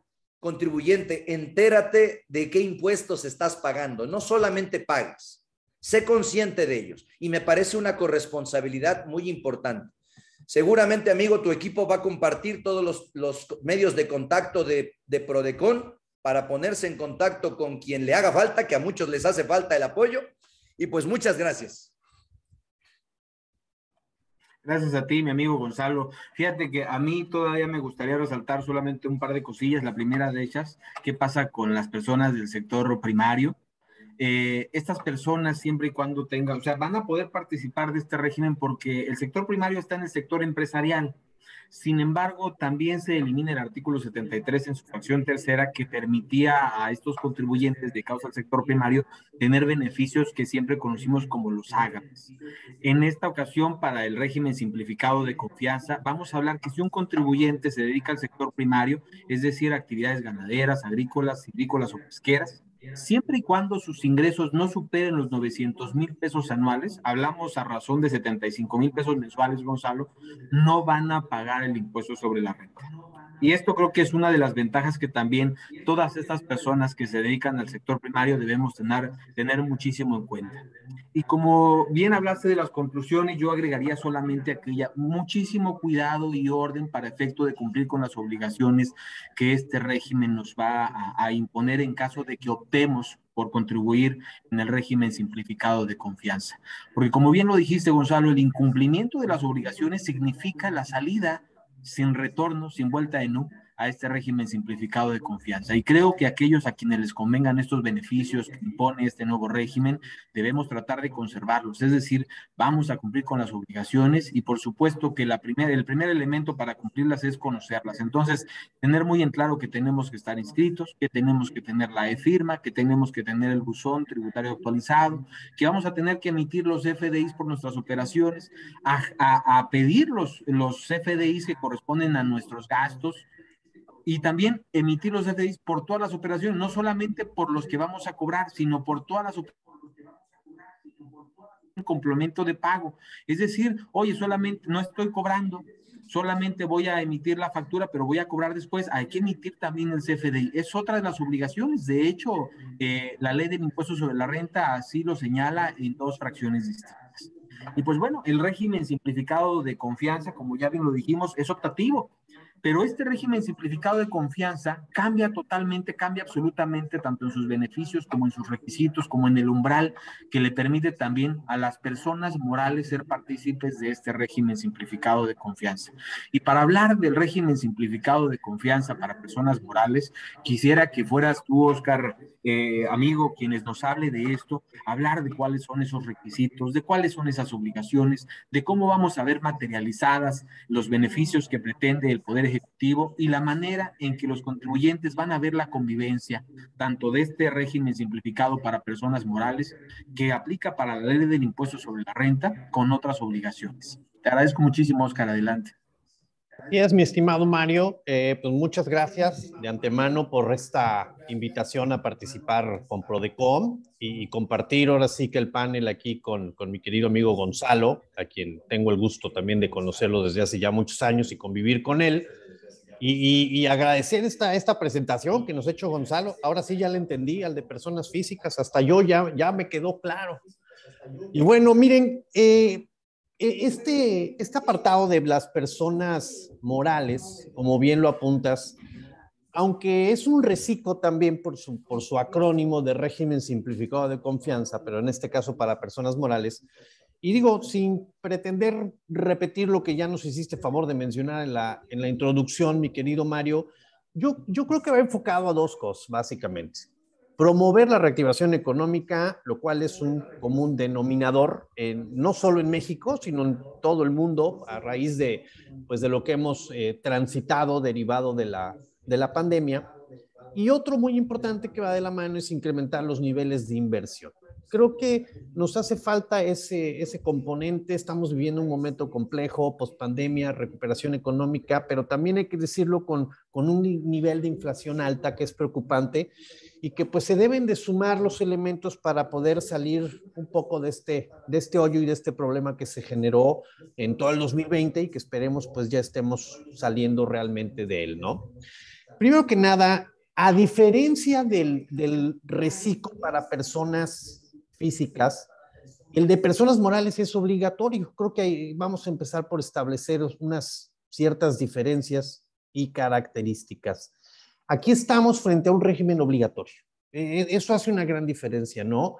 Eh, eh, Gonzalo exponía muy bien el tema, si, venías de un RIF, en qué casos te puede convenir, si eres arrendamiento, etcétera. Y eso está perfecto cuando estamos ante un, ante un esquema optativo. Aquí cambia un poquito la cosa y vamos a empezar a analizarlo.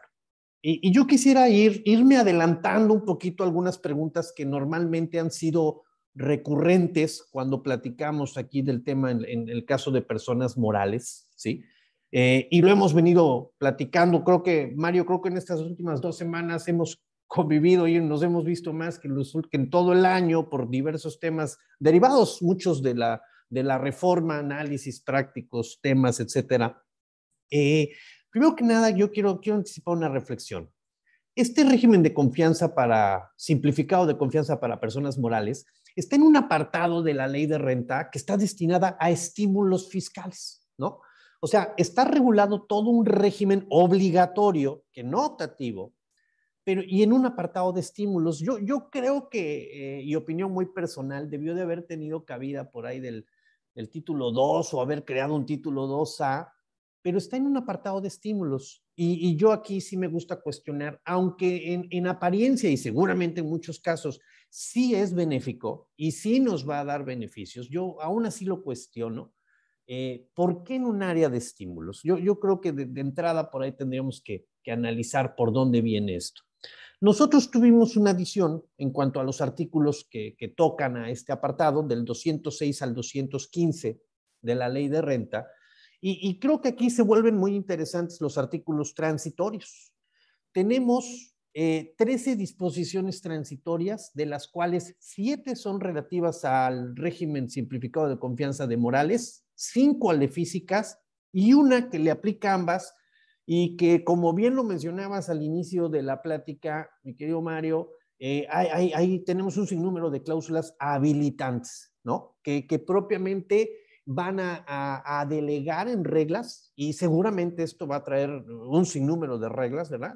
Eh, la regulación de algunos aspectos que ya están aquí en la ley, ¿no? Y ahorita yo quisiera identificar algunos que ya hemos platicado, que ya hemos identificado que donde pues las reglas no son una opción, sino que van a ser pues muy necesarias, ¿no? Ya lo anticipaban ustedes en el caso de las personas físicas que son miembros de sociedades, la, disposición de la norma es de aplicación estricta. La norma dice eh, socios o accionistas de personas morales. Es una regla general y me estoy refiriendo un poquito a personas físicas, ¿no? Tendrán que venir reglas que aclaren en qué casos sí y en qué casos no.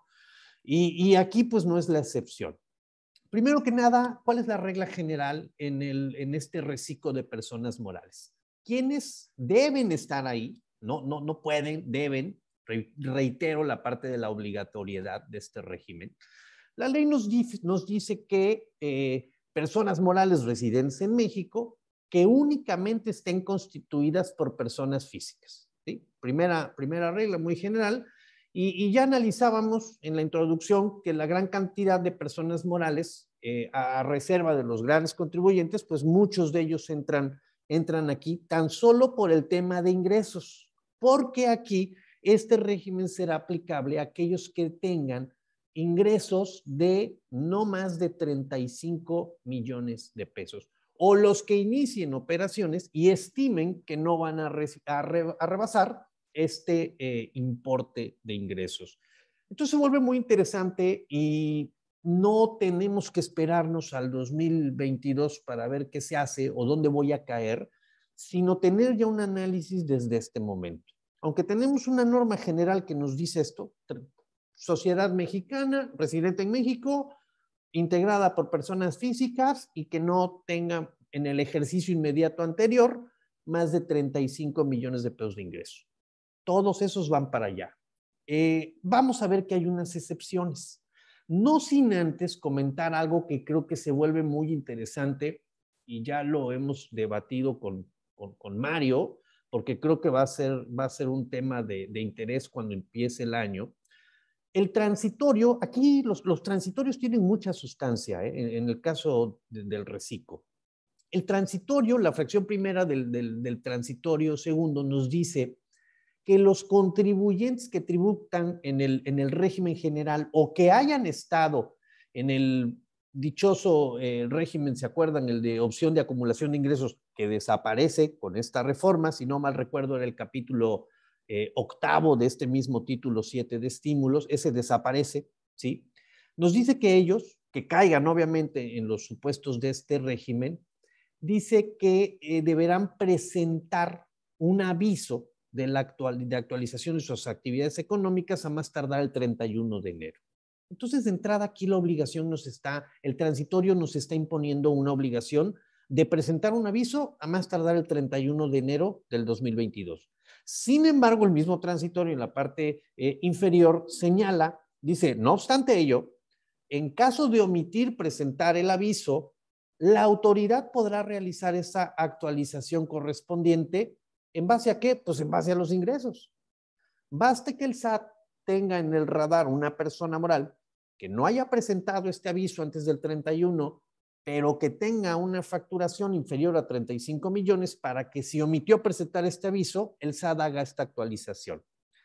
En términos generales, esto no representaría ningún problema si este régimen fuera aplicable para todas las personas morales que facturan menos de 35 millones de pesos. Pero vamos a ver más adelante que hay algunas excepciones. Y aquí lo, lo debatíamos con Mario. Eh, me voy a adelantar un poquito a, aquellas que tengan partes relacionadas, ¿no? Y ahorita quisiera ahondar un poquito en eso porque creo que sí es un tema que se presenta sobre todo en muchos grupos empresariales, ¿sí? Muchas personas morales son parte de, de grupos empresariales y muchos de ellos operan con partes relacionadas, es algo normal, habitual, yo lo diría y que por esa simple situación no van a poder acceder a este o no deberán llegar a este régimen. Ellos no van a presentar un aviso antes del 31 de enero. Pero si el SAT me dice, ah, no lo presentaste, pero pues como no lo presentaste, yo te actualizo y te llevo para allá, yo eh, le decía a Mario, oye, yo le quiero decir a la autoridad que no, que a mí no me toca por, por alguna de las excepciones que dispone la misma ley. Esto no está previsto, así de simple. A mí no, no, en este momento no me preocupa tanto los que sí caen aquí. Me preocupan los que no caen por las situaciones que vamos a ver ahorita más adelante. Por esta posible actualización que puede hacer, vamos a llamarla, de oficio el SAT. Eh, ¿Quiénes abandonarían este régimen simplificado de confianza? Pues de entrada, los que superen la regla general, que eh, va en función de los ingresos, ¿no?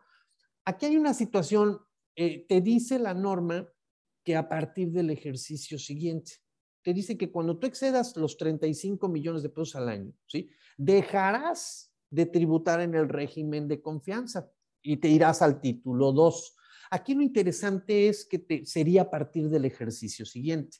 Ahí ya se abren otras cuestiones porque, y adelanto otro aspecto para no, no irnos demorando en esa parte, vamos a ver que en este régimen, como, como nos vamos ya a ingresos efectivamente percibidos, eh, el, tema del pago provisional se vuelve muy interesante porque desaparece el tema de coeficiente de utilidad.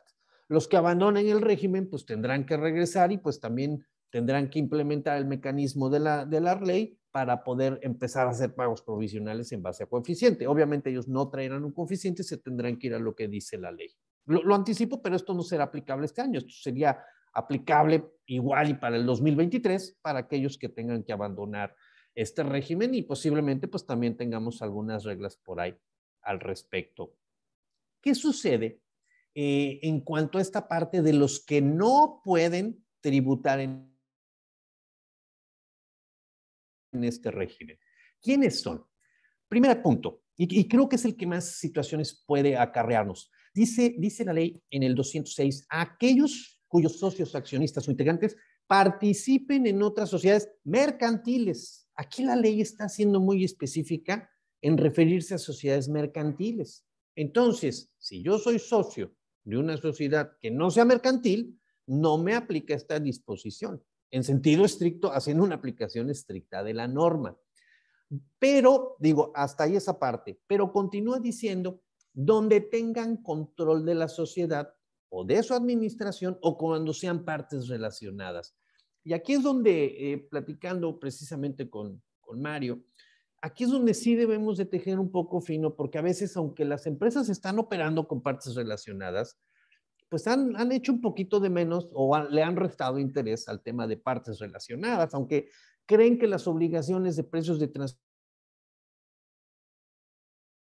transferencias son únicamente cuando tienes una contraparte en el extranjero y es cuando te debería de ocupar el tema, siendo que es un tema que, de partes relacionadas, como lo define eh, la ley en el 90, pues no, no, no, no importa si es en el extranjero o es local, tienes que estar teniendo tus operaciones de mercado a precios de mercado, porque si no, pues efectivamente estás haciendo uso de una parte relacionada para poder maniobrar utilidades, gastos o lo que tú estés considerando que sea la conveniencia de los contribuyentes.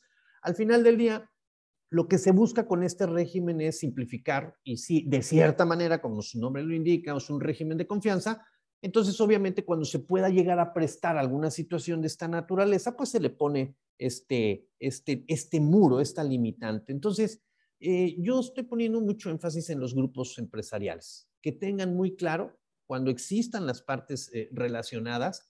Y, y, otro tema que también subyace aquí y a lo mejor luego está escondido todas las empresas que te atraen operaciones de exportación, importación, y que, pues, recordando la, la, conceptualización de lo que es la, la parte relacionada, no,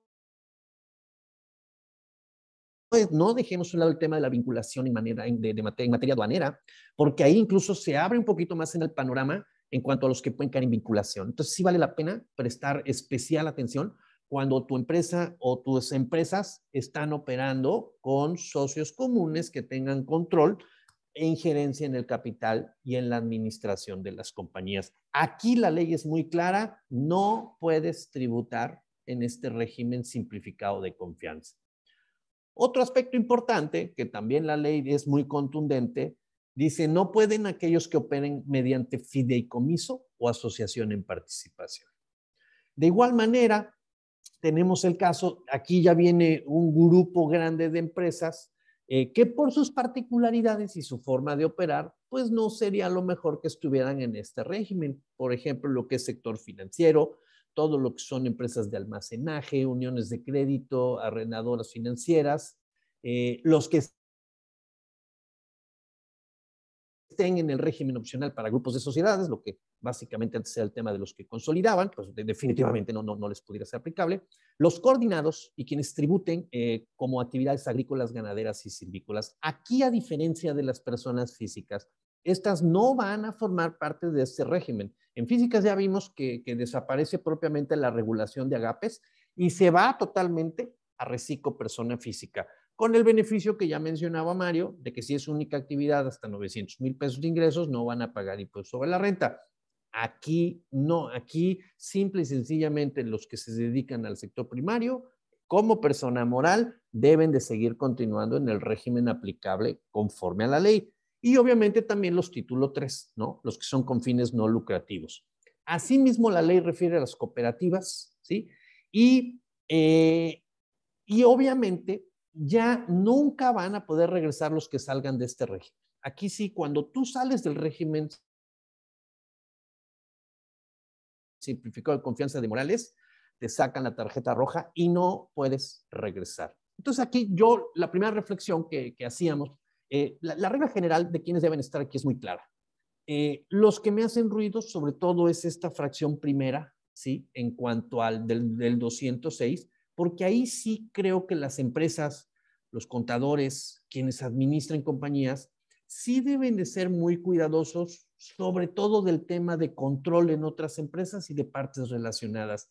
Y aquí esto va más allá de cuánto facturaste o qué haces eh, o a qué te dedicas. Aquí esto va muy en función de un análisis eh, eminentemente corporativo de cómo está distribuida la composición accionaria de una empresa y qué tanto los socios o accionistas tienen participación en otras empresas y que estas otras empresas, sociedades mercantiles, puedan estar teniendo operaciones entre, entre compañías, lo cual, es, repito, es muy común en grupos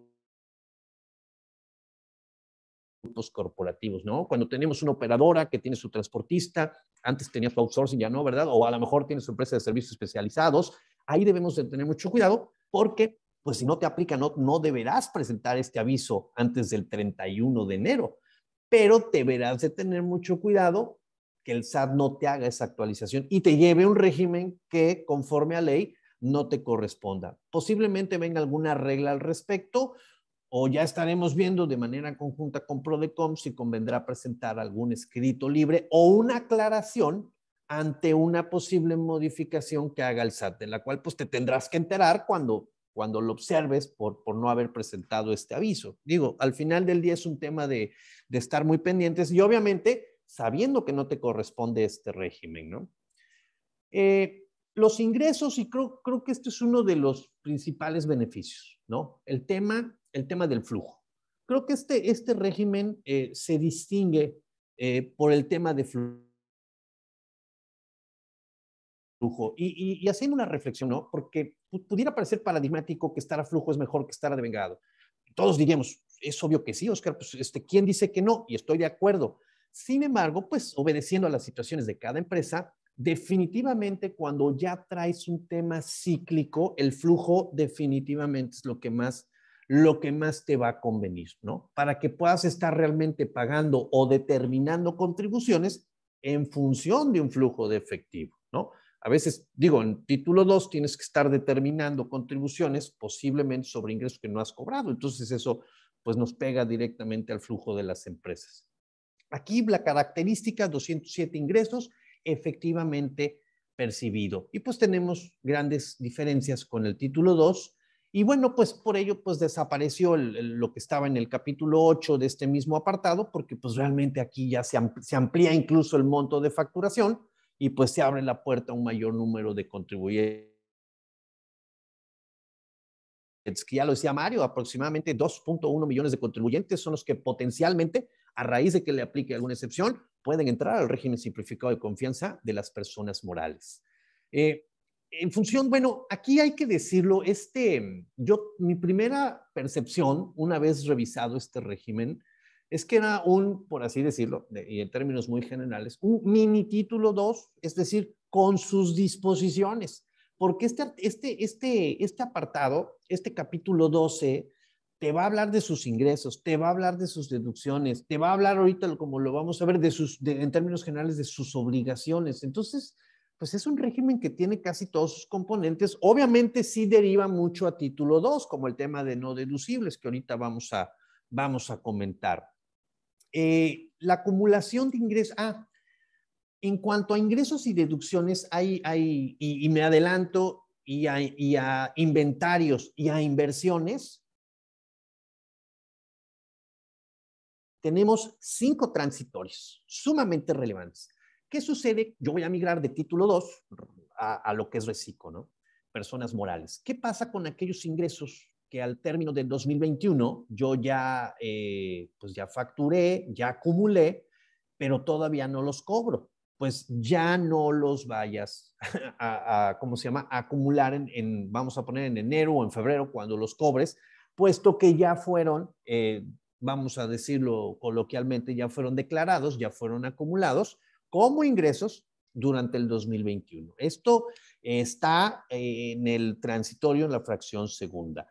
Y, esta disposición tiene un par en materia de deducciones. ¿Qué sucede? Acuérdense que las deducciones pues no se pueden restar dos veces, ¿no? Regla general, solo una. Eh, ¿Qué pasa con aquellas deducciones que ya aplicaste o que ya realizaste en 2021? bueno, pues este, no las podrás aplicar en el 2022. Y esto es un tema, reitero, meramente transitorio por, por llevarnos de un esquema de devengado a un esquema de flujo. Entonces, es correcto y oportuno que los transitorios de la ley lo dejen muy claro. Creo que esto no deja lugar a dudas y sí nos deja muy claro que, que no se haga. Pudiera parecer obvio, ¿eh? Pudiera parecer obvio, oye, ¿por qué voy a acumular un ingreso en enero, aunque lo haya cobrado? ya en un régimen diferente al que venía yo hasta diciembre del 21, porque pues ya lo acumulé allá, ¿no? Entonces, pudiera parecer obvio, pero qué bueno que las disposiciones transitorias nos lo, nos lo aclaran, ¿no? Entonces, en materia de ingresos no lo acumules, en materia de deducciones no la vuelvas a deducir, ¿no? Cuando la pagues en, en enero o en el mes que corresponda del año 2022.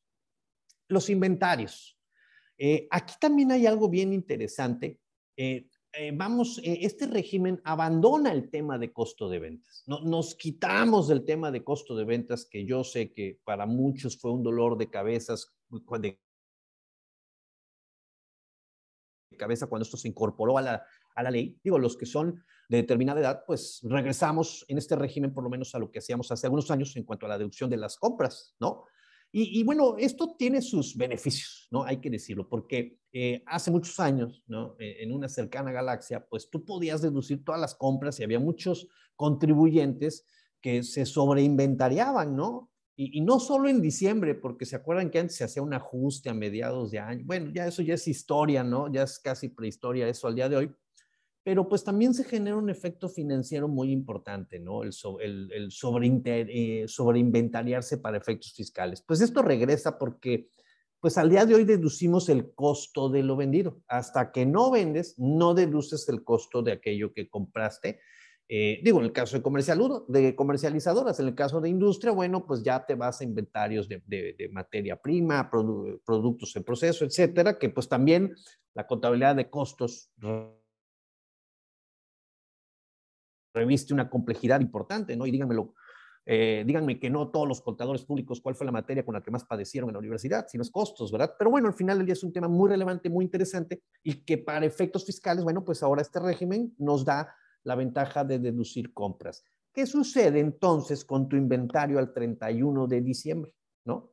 Bueno, pues ese inventario que no has deducido vía costo de lo vendido, lo vas a deducir durante el 2022 conforme vayas vendiendo esa mercancía. Entonces, pues ahí sí nada más te vas llevando pues el inventario que esté pendiente de venderse y lo irás deduciendo en, su oportunidad conforme se venda. Eh, por lo que hace a lo que compres, eh, a las compras del 2022, esas pues ya serán totalmente deducibles, ¿no? Tema de flujo 100%. Y en materia de deducciones, aquí sí hemos, hemos hecho muchas este, observaciones, ¿no? La ley dispone en este artículo 208, dice cuáles son las deducciones de este régimen. Y llama la atención que las, las enumera, las menciona en términos muy generales, las que están viendo en pantalla, devoluciones o descuentos o bonificaciones, adquisición de mercancías y materias primas, gastos netos de descuento. Hijo, yo creo que este va a ser bien interesante. Gastos. Ahorita comento por qué. Inversiones, intereses pagados sin deducción alguna, no hay componente inflacionario ni nada. Eh, cuotas a cargo de los patrones pagadas al IMSS. Y, aportaciones eh, efectuadas para creación e incremento de reservas para fondos de pensiones o jubilaciones. En lo personal, la, la, primera reflexión que yo hice cuando vi este, este, estos conceptos de deducción, yo dije, pues me faltan muchos, ¿no? O sea, y me sobra alguno. Yo creo que, por ejemplo, el último de las aportaciones efectuadas para crear fondos de pensiones, pues son realmente muy pocas las empresas las que llevan a cabo o las que tienen sus fondos de pensión. Realmente, digo, no que no existan, claro que hay y son importantes, pero no son muchas, ¿sí? Sin embargo, eh, fíjense, y, algo que yo sí observé desde el principio, dice cuotas a cargo eh, del patrón pagadas al IMSS pero no habla de las aportaciones al Infonavit. Entonces, este, no son deducibles. Digo, no, yo creo que la redacción aquí, con el perdón de los señores legisladores, que estoy seguro que analizaron 20 mil veces esta disposición, estoy seguro de ello, yo creo que se les barrió aquí el hacer este listado de deducciones. No están los sueldos, ¿no? Yo sé que me podrán decir o señalar, bueno, pues son gastos, ¿no? hay, un genérico de gastos. La fracción tercera dice gastos. Pues los sueldos es un gasto, ¿no? Las aportaciones pagadas al Infonavit son gastos. Eh, sí, ¿no? Eh, las cuotas patronales al también lo son, pero les pusiste un cajón en, en, especial. Entonces yo creo que no sé, y no, no se trata de emitir un juicio de valor si está bien o está mal, pero yo creo que pues esta descripción de deducciones eh, pues sí carece un poquito de alguna técnica legislativa, porque pudo haber sido un poquito más elocuente o un poquito más generalista si así lo buscaba. Pero bueno, al final del día, eh, y si alguien tiene alguna observación aquí también, yo, yo creo que sí, sí tenemos que ser muy cuidadosos porque en el reciclo de físicas, pues no hay deducciones. Digo, hay que cuidar el tema del IVA. Aquí sí hay deducciones. Aquí sí hay deducciones y ahí están las deducciones. ¿sí? Entonces, eh, la norma es de aplicación estricta, hay que tener cuidado con eso. Y bueno, pues estamos también, digo, eh, eh, en espera, como ya bien lo señalábamos, de algunas disposiciones reglamentarias, pero que al final del día, pues yo espero que no, esto no se traduzca en problemas para el contribuyente por cómo está redactada esta disposición del 208. ¿sí?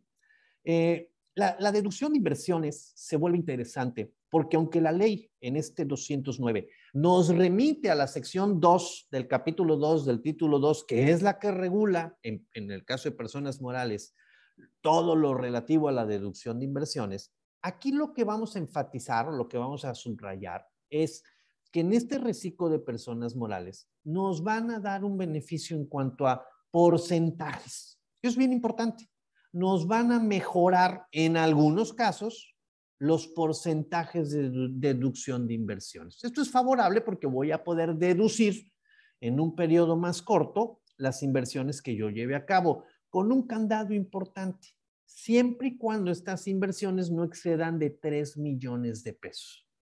Y aquí digo, yo sé que ustedes podrán tener preguntas, pero yo también tengo muchas preguntas. Yo aquí digo, bueno, ¿qué pasa si un contribuyente tiene inversiones eh, por 3 millones y medio de pesos. ¿no?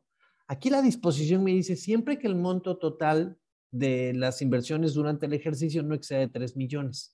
Oye, sí me pasé, 3 y medio. Eh, ¿Puedo aplicar la deducción por 3 millones y el excedente no? ¿O no puedo aplicar? Eh, ya, o sea, o ya la, el candado le aplica porque me pasé o solo, solo por el poquito que me pasé. Pues las disposiciones de, de, aplicación eh, en términos generales dices, oye, pues si te pasaste no, no, no podrás aplicar estos porcentajes eh, reducidos, ¿no? Como lo vamos a ver a continuación. Posiblemente vengan reglas, ¿no? Posiblemente vengan reglas al respecto, dado que pues yo la verdad también cuestiono un poco esta disposición. Si la exposición de motivos me dice que el objetivo, el fin de este régimen es promover la inversión y la recuperación económica, pues no me pongas un tope de 3 millones en, mis inversiones. déjame invertir lo que yo quiera, ¿no? Déjamelo abierto y aplícame. Digo, al final del día estoy en el régimen porque estoy, no, no estoy superando el nivel de ingresos, ¿no? Soy persona moral integrado por puras personas físicas. No sé si por aquí pudiera venir algo en, materia de reglas o simple y sencillamente el tope esté diseñado pues para que no se den algunas planeaciones en materia de una compra de activos o, incluso intangibles, ¿verdad? Y que sean comercializados por otro lado con un beneficio de un porcentaje reducido. Entonces, así lo, lo, entiendo de alguna manera, que por eso se le pone este, pues este tope, ¿no? Para no para tampoco crear una empresa que, se, que sea reciclo moral y que se dedique únicamente a adquirir eh, activos fijos, ¿no? O, intangibles, que ahí también se vuelve un poquito más complejo el tema, ¿no? Y, bueno, aquí el tema de los porcentajes, aquí pues hacemos una, pues presentamos los más relevantes, ¿no? Eh, por ejemplo, me quiero ubicar en el mobiliario y equipo de oficina, ¿no? En régimen general traemos un, aquí lo tenemos en la lámina muy claro, traemos un 10. Pues con el régimen eh, vamos a tener un 25, entonces pues se acorta considerablemente. Yo, yo aquí siempre he pensado que cuando nosotros, eh, los que estudiamos contabilidad, comprendimos eh, en algún momento que la depreciación Mm, es, es, una forma de distribuir el costo de una inversión entre el probable, entre el probable tiempo de su vida útil. E, en, en, sentido estricto, depreciar un activo fijo es eso, es distribuir su costo entre los posibles años de su vida útil, ¿no? Los porcentajes fiscales, pues en teoría van un poquito a la, iban un poquito a la mano de esto, y pues aquí realmente se incrementan meramente como un tema fiscal. Al final del día, tú en tu contabilidad podrás llevar el, el el registro de tu depreciación en un porcentaje distinto al fiscal. Mucha gente lo, lo, iguala, ¿no? ¿no? No teniendo por qué ser. Pero bueno, al final del día aquí, pues lo que se me está ofreciendo es una ventaja para deducir más rápido inversiones y me queda claro que pues esto sí promueve eh, a lo mejor que se invierta más dinero en este tipo de bienes, ¿no? Que son bienes de mayor duración. Uno muy interesante es el de computadoras personales, de escritorio, portátiles, etcétera. Yo creo que que nos den un 50%, eh, pongámoslo en términos coloquiales, deducirlos en dos años, pues definitivamente es muy favorable, ¿no? Digo, hay, hoy en día hay equipos que, a lo mejor en dos años ya son obsoletos, dependiendo el uso y las necesidades de, que se le puedan dar, ¿no? Eh, tenemos otros ejemplos en el, caso de las herramientas, dados, troqueles, moldes, muy ocupados en muchas industrias, pues también se van de un 35 a un 50%, ¿no? Eh, no son todos, obviamente aquí ponemos eh, en las láminas un, ejemplo de algunos que son de los más significativos, ¿no? Y aquí pues realmente lo que apreciamos es, es, un incremento en este porcentaje y, y, bueno, en términos prácticos, pues bienvenido poder deducir más rápido este tipo de inversiones, ¿no? Aquí tenemos dos transitorios bien interesantes en materia de inversiones. Primero que nada, y, aquí a lo mejor me estoy adelantando con este, este es el penúltimo transitorio que tienen en pantalla. Hay un transitorio anterior que no, no, no, lo, tenemos, no lo traigo en el material, pero lo cito porque es importante y, creo que es, hay que aclarar para que no se preste a confusiones. Cuando tú traes un activo, tú vienes en título 2 hoy, vas a migrar a reciclo de Morales, cuando tú traes un activo fijo, una inversión, que vienes deduciendo ya con los porcentajes eh, de la sección 2 del capítulo 2, las vas a, debe, las vas a seguir eh, deduciendo conforme a las disposiciones de la ley del título 2. Eso, eso no lo vas a cambiar por la entrada reciclo, ¿sí? Sin embargo, la fracción 12, el, transitorio, nos dice esto le, llaman eh, una deducción adicional, ¿sí? Aquí nos permite eh, la norma, como disposición transitoria, hay que enfatizarlo, nos dice que en el 2022 eh, vas a poder deducir, eh, vas a tener una deducción adicional, ¿sí? Siempre y cuando hayas adquirido, hayas hecho este tipo de inversiones entre el primero de septiembre y el 31 de diciembre. Esto es atractivo. ¿Por qué? Porque si tú traes un activo que compraste del primero de septiembre para acá, aunque la disposición general te dice que todo lo que venga de, años anteriores te vas a seguir conforme al título 2, aquí sí vas a poder tener esta deducción adicional. Y aquí hay que entenderla un poquito, yo, yo lo pondría en ese contexto, porque ¿a qué se refiere con deducción adicional? O sea, le tengo que aplicar el porcentaje del título 2, pero ese excedente que a lo mejor me esté dando ahora el reciclo es lo que la, disposición entiende como deducción adicional. O sea, hay un diferencial más grande para llegar al porcentaje que ahora me dispone la ley. Bueno, pues eh, yo entiendo que a eso se refiere y va a ser muy interesante qué vas a hacer con estas inversiones si es que te aplica el caso, si es que adquiriste eh, efectuaste una inversión, activo fijo, a partir del primero de septiembre. Solo ahí les aplicaría. Si traes inversiones anteriores, pues definitivamente pues no te aplica, ¿no? Y reitero, es una, es una deducción adicional, ¿no? Entonces hay que estar muy pendiente con esto. Eh, Importante en cuanto a las deducciones, aquí sí la ley nos remite al título 2, en cuanto al tema no deducibles, ¿no? Aquí los no deducibles siguen siendo los mismos del 28. Aquí no, no, no, no me vengas con que yo te dije que esto era, no. Aquí tenemos que cumplir todas las disposiciones de no deducibles del 28. Y muy interesante, eh, cuando nos hablan de, de los requisitos de las deducciones, no solo de cuáles son las deducciones, sino de los requisitos también, que son requisitos vamos a decirlo, reiterativos y generales de la ley de renta, eh, a mí me llamó la atención que, que habla, empieza diciendo requisitos de otras disposiciones fiscales. No sé si ustedes ya observaron eso. Y creo que es importante porque aunque los requisitos de las deducciones los encontramos en la misma ley de renta, acuérdense que también tenemos disposiciones, pues tan solo en materia de CFDI, que, que, que, todo lo de CFDI pues lo vamos a tener en el Código Fiscal de la Federación. Entonces, forzosamente este, este régimen pues está amarrando eh, todas las disposiciones de CFDI, emisión de comprobantes, disposiciones generales, vamos a ponerlo así, de requisitos de deducciones, para que pues no, no, no, no se quede tan aislado este régimen. O sea, no va solo este régimen. Aquí tan solo lo vemos con el caso de los no deducibles, ¿no? Eh, y en materia de requisitos, como ustedes lo podrán observar, pues son requisitos generales que les aplica de manera particular, efectivamente erogadas, que sean estrictamente indispensables. En el caso de las inversiones ya vimos que tiene que aplicar las disposiciones del título 2, que se resten una sola vez, que en el caso de seguros y fianzas tengan eh, estrecha relación con los bienes a los cuales están asegurados o la razón por las cuales emitió una fianza, ¿sí? Cuando tengamos pagos a plazos, pues únicamente podrás ir deduciendo lo efectivamente erogado. Este, y pues básicamente todas estas deducciones, todos estos requisitos, pues van de la mano con el tema de eh, obtener comprobantes fiscales, eh, todo lo que las disposiciones aplicables del Código Fiscal de la Federación. Y en los pagos provisionales, pues aquí también tenemos eh, pues una, un aspecto de sumo interés, ¿no? Pagos provisionales a más tardar los días 17, son pagos mensuales, ¿sí?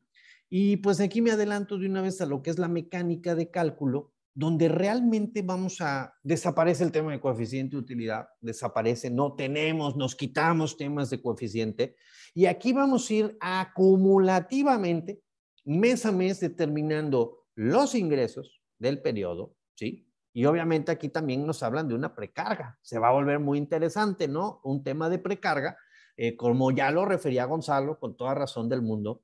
Si el CFDI ya era importante y básico, pues ahora es más importante y más básico, ¿no? Es el CFDI, yo creo que, yo creo que 2022 es, es un año bien relevante porque creo que con el cúmulo de disposiciones que se han venido dando desde hace varios años, este va a ser como el año de cerrar esa primera fase donde la autoridad fiscal ya va a tener todos los elementos para ponerte en la mesa electrónica tu pago, ¿no? Creo que, creo que es, es, es muy relevante esa situación. Eh, lo teníamos en las anuales de personas físicas, ¿no? El, tema del declarazar y la precarga, con todo lo que ello representa y los errores en CFDIs. Yo creo que el aprendizaje eh, de todo lo que hemos vivido para este 2022 es un especial cuidado en el tema CFDI. Sin duda el tema, el CFDI es la llave, es la puerta, es la ventana que nos va a poner sobre la mesa lo que la autoridad dice que hicimos, y tiene razón, ¿no? Eh, en cuanto a lo que se ve reflejado. Y eso le va a dar todas las herramientas para ponernos el pago y que nosotros, como lo decíamos hace rato, lo tomes y lo pagues, ¿no? Y si no estás de acuerdo, pues explícame por qué no. Entonces, yo creo que la tecnología en este momento cobra, cobra, pues cobra una importancia todavía mayor. Yo creo que el contador de hoy, la empresa de hoy, no puede ser ajena al tema tecnológico, ¿no? La tecnología en, la, en el trabajo contable, en el trabajo de determinación de impuestos, pues no es una opción, no, no, no es optativo, no es una gracia hoy que sepas un poquito más allá de las tecnologías de la información. Se ha vuelto un tema indispensable. Primero, comprenderlo. Segundo, aplicarlo. Y tercero, valerte de la tecnología para hacer más fácil tu trabajo. ¿no? La tecnología hoy, poder analizar CFDIs, poder estar validando todo esto, yo creo que te da una ventaja competitiva en cuanto a la determinación de impuestos. Y hoy en día, pues el SAT lo va a tener todo, ¿no? Los ingresos, las deducciones, ¿no? Vamos a tener ya lo que son, pues todos los FDIs que te generaron, obviamente compras, gastos, etcétera. Y en tu pago provisional vas a poder deducir la PTU pagada en el ejercicio y en su caso si trajeras pérdidas fiscales. Y las reglas de las pérdidas fiscales también lo dispone así la ley, son, son las reglas del título 2. ¿eh? Aquí las pérdidas siguen siendo, oye, no aplicaste la pérdida que, que, pudiste haber aplicado, la pierdes. O sea, las reglas, es, el tema no cambia, no cambia. Eh, las pérdidas siguen siendo eh, eh, su tratamiento como lo conocemos hasta el día de hoy. Y aquí simple y sencillamente tener clara la estructura de tu pago mensual, pago, pago provisional, ¿no?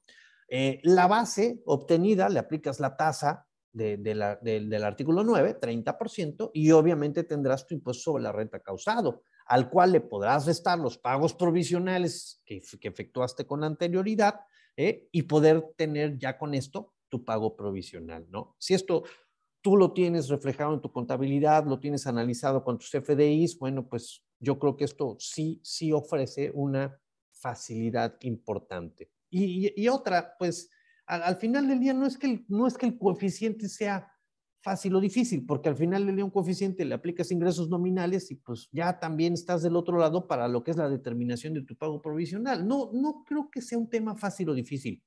Yo creo que aquí también hay un tema un poquito más de, de, de, de justicia, ¿no? De, que realmente estés pagando sobre lo que realmente está generando, en este caso, la persona moral que factura menos de 35 millones de pesos.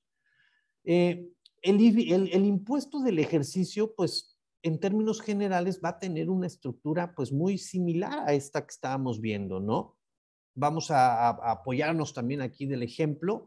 Eh, obviamente tenemos los ingresos, tenemos las deducciones, eso nos va a dar una utilidad fiscal antes de PTU. Tenemos una PTU pagada en, en el ejercicio, las pérdidas fiscales y vamos a llegar a nuestro resultado fiscal al cual le vamos a aplicar la tasa del impuesto sobre la renta, la, tasa del 30%, y obviamente le restaremos los pagos provisionales.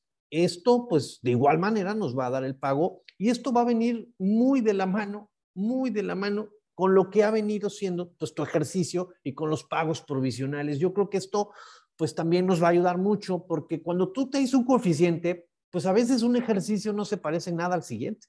¿No? Entonces el coeficiente es una fotografía de tus márgenes fiscales del año anterior, que a lo mejor este año no se dio así, o traes un coeficiente alto, hiciste pagos muy altos, el impuesto a lo mejor no te resultó. Y bueno, yo creo que esta mecánica sí nos puede llevar a, pagar eh, pues más acorde a lo que es el flujo del negocio. Em, Las pérdidas, ya adelantaba yo el comentario, las pérdidas seguimos en materia de lo que es este, las disposiciones generales, así las vamos a aplicar y tenemos pues lo que ya sabemos, 10 años para aplicarla y la que no apliques pues la vas a, pues la vas a perder, ¿no? Aquí pues siempre sabemos que las pérdidas debemos estar muy pendientes. Obligaciones a cumplir. Aquí voy a, voy a dejar una última reflexión. Eh, la ley dispone en este régimen que tenemos que cumplir las obligaciones que señala el título 2 en el capítulo eh, noveno, básicamente. Y aquí encontramos pues un cúmulo de obligaciones, ¿no? Llevar contabilidad, expedir comprobantes fiscales, formular un estado de posición financiera. Digo, todas las que ustedes me digan, ¿no? Son las obligaciones que encontramos, si no mal recuerdo, en el artículo 76 a 78 de la ley del impuesto sobre la renta. Y aquí yo quisiera comenzar a hacer una reflexión con ustedes hay obligaciones muy particulares. Hay una sobre todo, reciclo, simplificación, estímulo, facilidad. Señores, contabilidad electrónica, reciclo persona moral debe de cumplir. Digo, si me voy a la disposición general, sí, no, no hay duda. Pero traemos un antecedente que yo creo que se pudiera materializar en una regla importante en, para este régimen en el régimen de acumulación que ya desaparece, traíamos una regla, la 32152, que daba facilidades a los contribuyentes de ese título octavo. Reitero, esto es un antecedente y aquí yo, yo estoy aventándome a soñar, ¿eh? Yo no, no, esto no es así, esto, es más, esta regla pues se, muere porque el, régimen de acumulación del título octavo, eh, perdón, del, del título del título 7 del capítulo octavo que, se deroga con esta reforma, pues eso se muere. El, el primero de enero eso ya no existe, ¿no? Teníamos esta regla que disponía que, esta, que estas personas morales, ¿sí? Quedaban relevadas de cumplir con las siguientes obligaciones. Enviar la contabilidad electrónica, ¿sí? Y la otra, presentar la DIOT. ¿No sería maravilloso cerrar, cerrar la pinza en este régimen con algo como esto?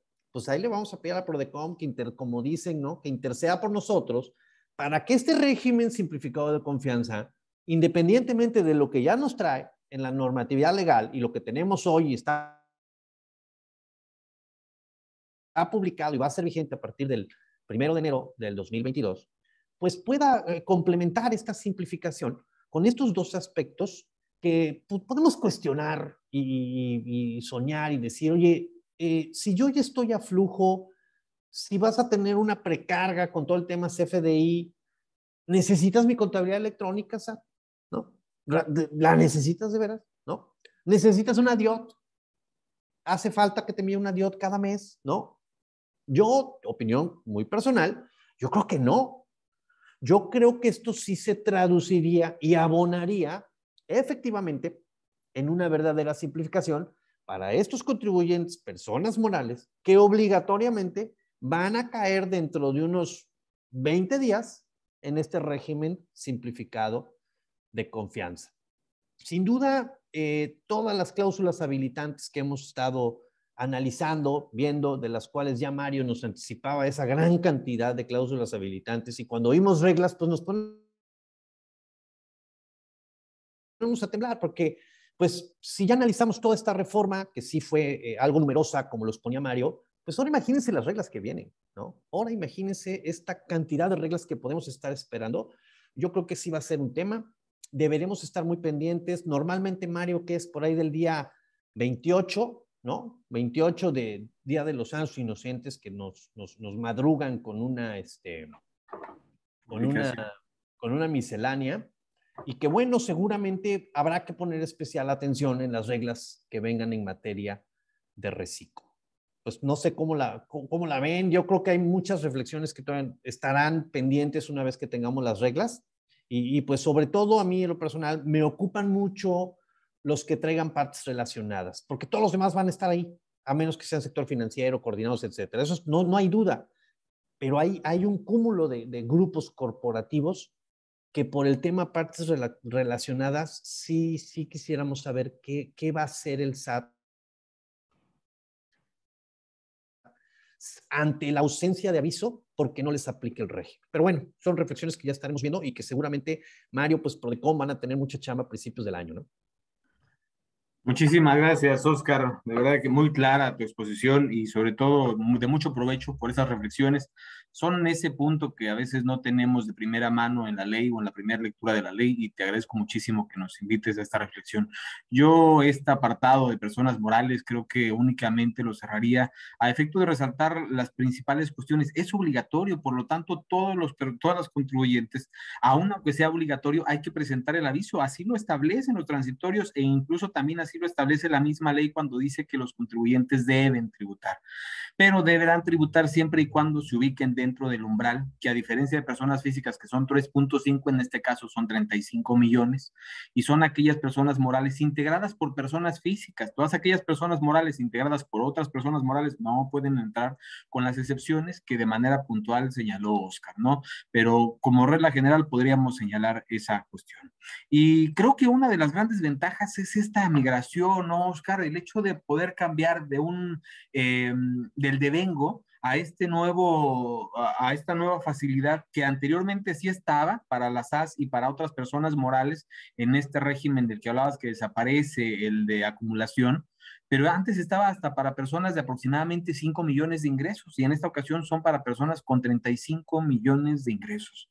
Eso también yo creo que es de, es ahí viene la simplificación también para un contribuyente porque dijiste algo que tiene que ver con justicia que yo lo relaciono también con la real capacidad de la persona.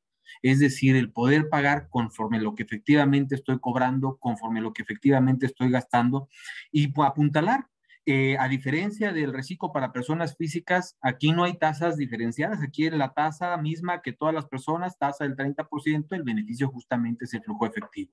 En personas físicas, como bien nos lo compartía Gonzalo, sí hay tasas muy atractivas, del 1 al, al 2.5%, pero en personas morales se queda la misma tasa. Y lo del retorno ese me parece bastante necesario señalarlo. A diferencia de personas físicas que nos decía Gonzalo, va a haber algún caso en el que ya no puedes regresar por incumplido, pero hay otras en las que sí te puedes regresar en el caso en que rebases. En personas morales, una vez que rebaso, salgo de este esquema del régimen simplificado de confianza, no hay retorno, me voy a título 2, pero va a ser hasta el siguiente ejercicio. Es decir, no va a ser al siguiente mes. Si yo en el mes de agosto rebaso los 35 millones, ese año lo concluyo con reciclo. Hasta el siguiente ejercicio es que voy a cambiar. Entonces, yo creo que estas cuestiones son las que hay que tener muy, muy en cuenta y, y que representan esa facilidad de este régimen simplificado de confianza. En ambos regímenes, yo podría decir, es importante tener en cuenta la simplificación que a cada uno le corresponde. Vemos muchas diferencias entre uno y otro. La principal, que uno es optativo, el otro es obligatorio. Sin embargo, yo invito a todos los amigos que nos están escuchando, pues que reflexionemos justamente para primero ubicarnos si en el caso de personas físicas, nos conviene migrar al régimen simplificado de confianza, que yo creo que en su mayoría puede ser una verdadera opción, que además de simplificar, nos va a representar una tasa muy atractiva del 1 al 2.5% para ingresos de personas que tienen hasta 3.5 millones. Es decir, no solamente hablamos del contribuyente chiquito, sino también ya del contribuyente mediano que tiene esa capacidad de ingresos y en personas morales hasta 35 millones.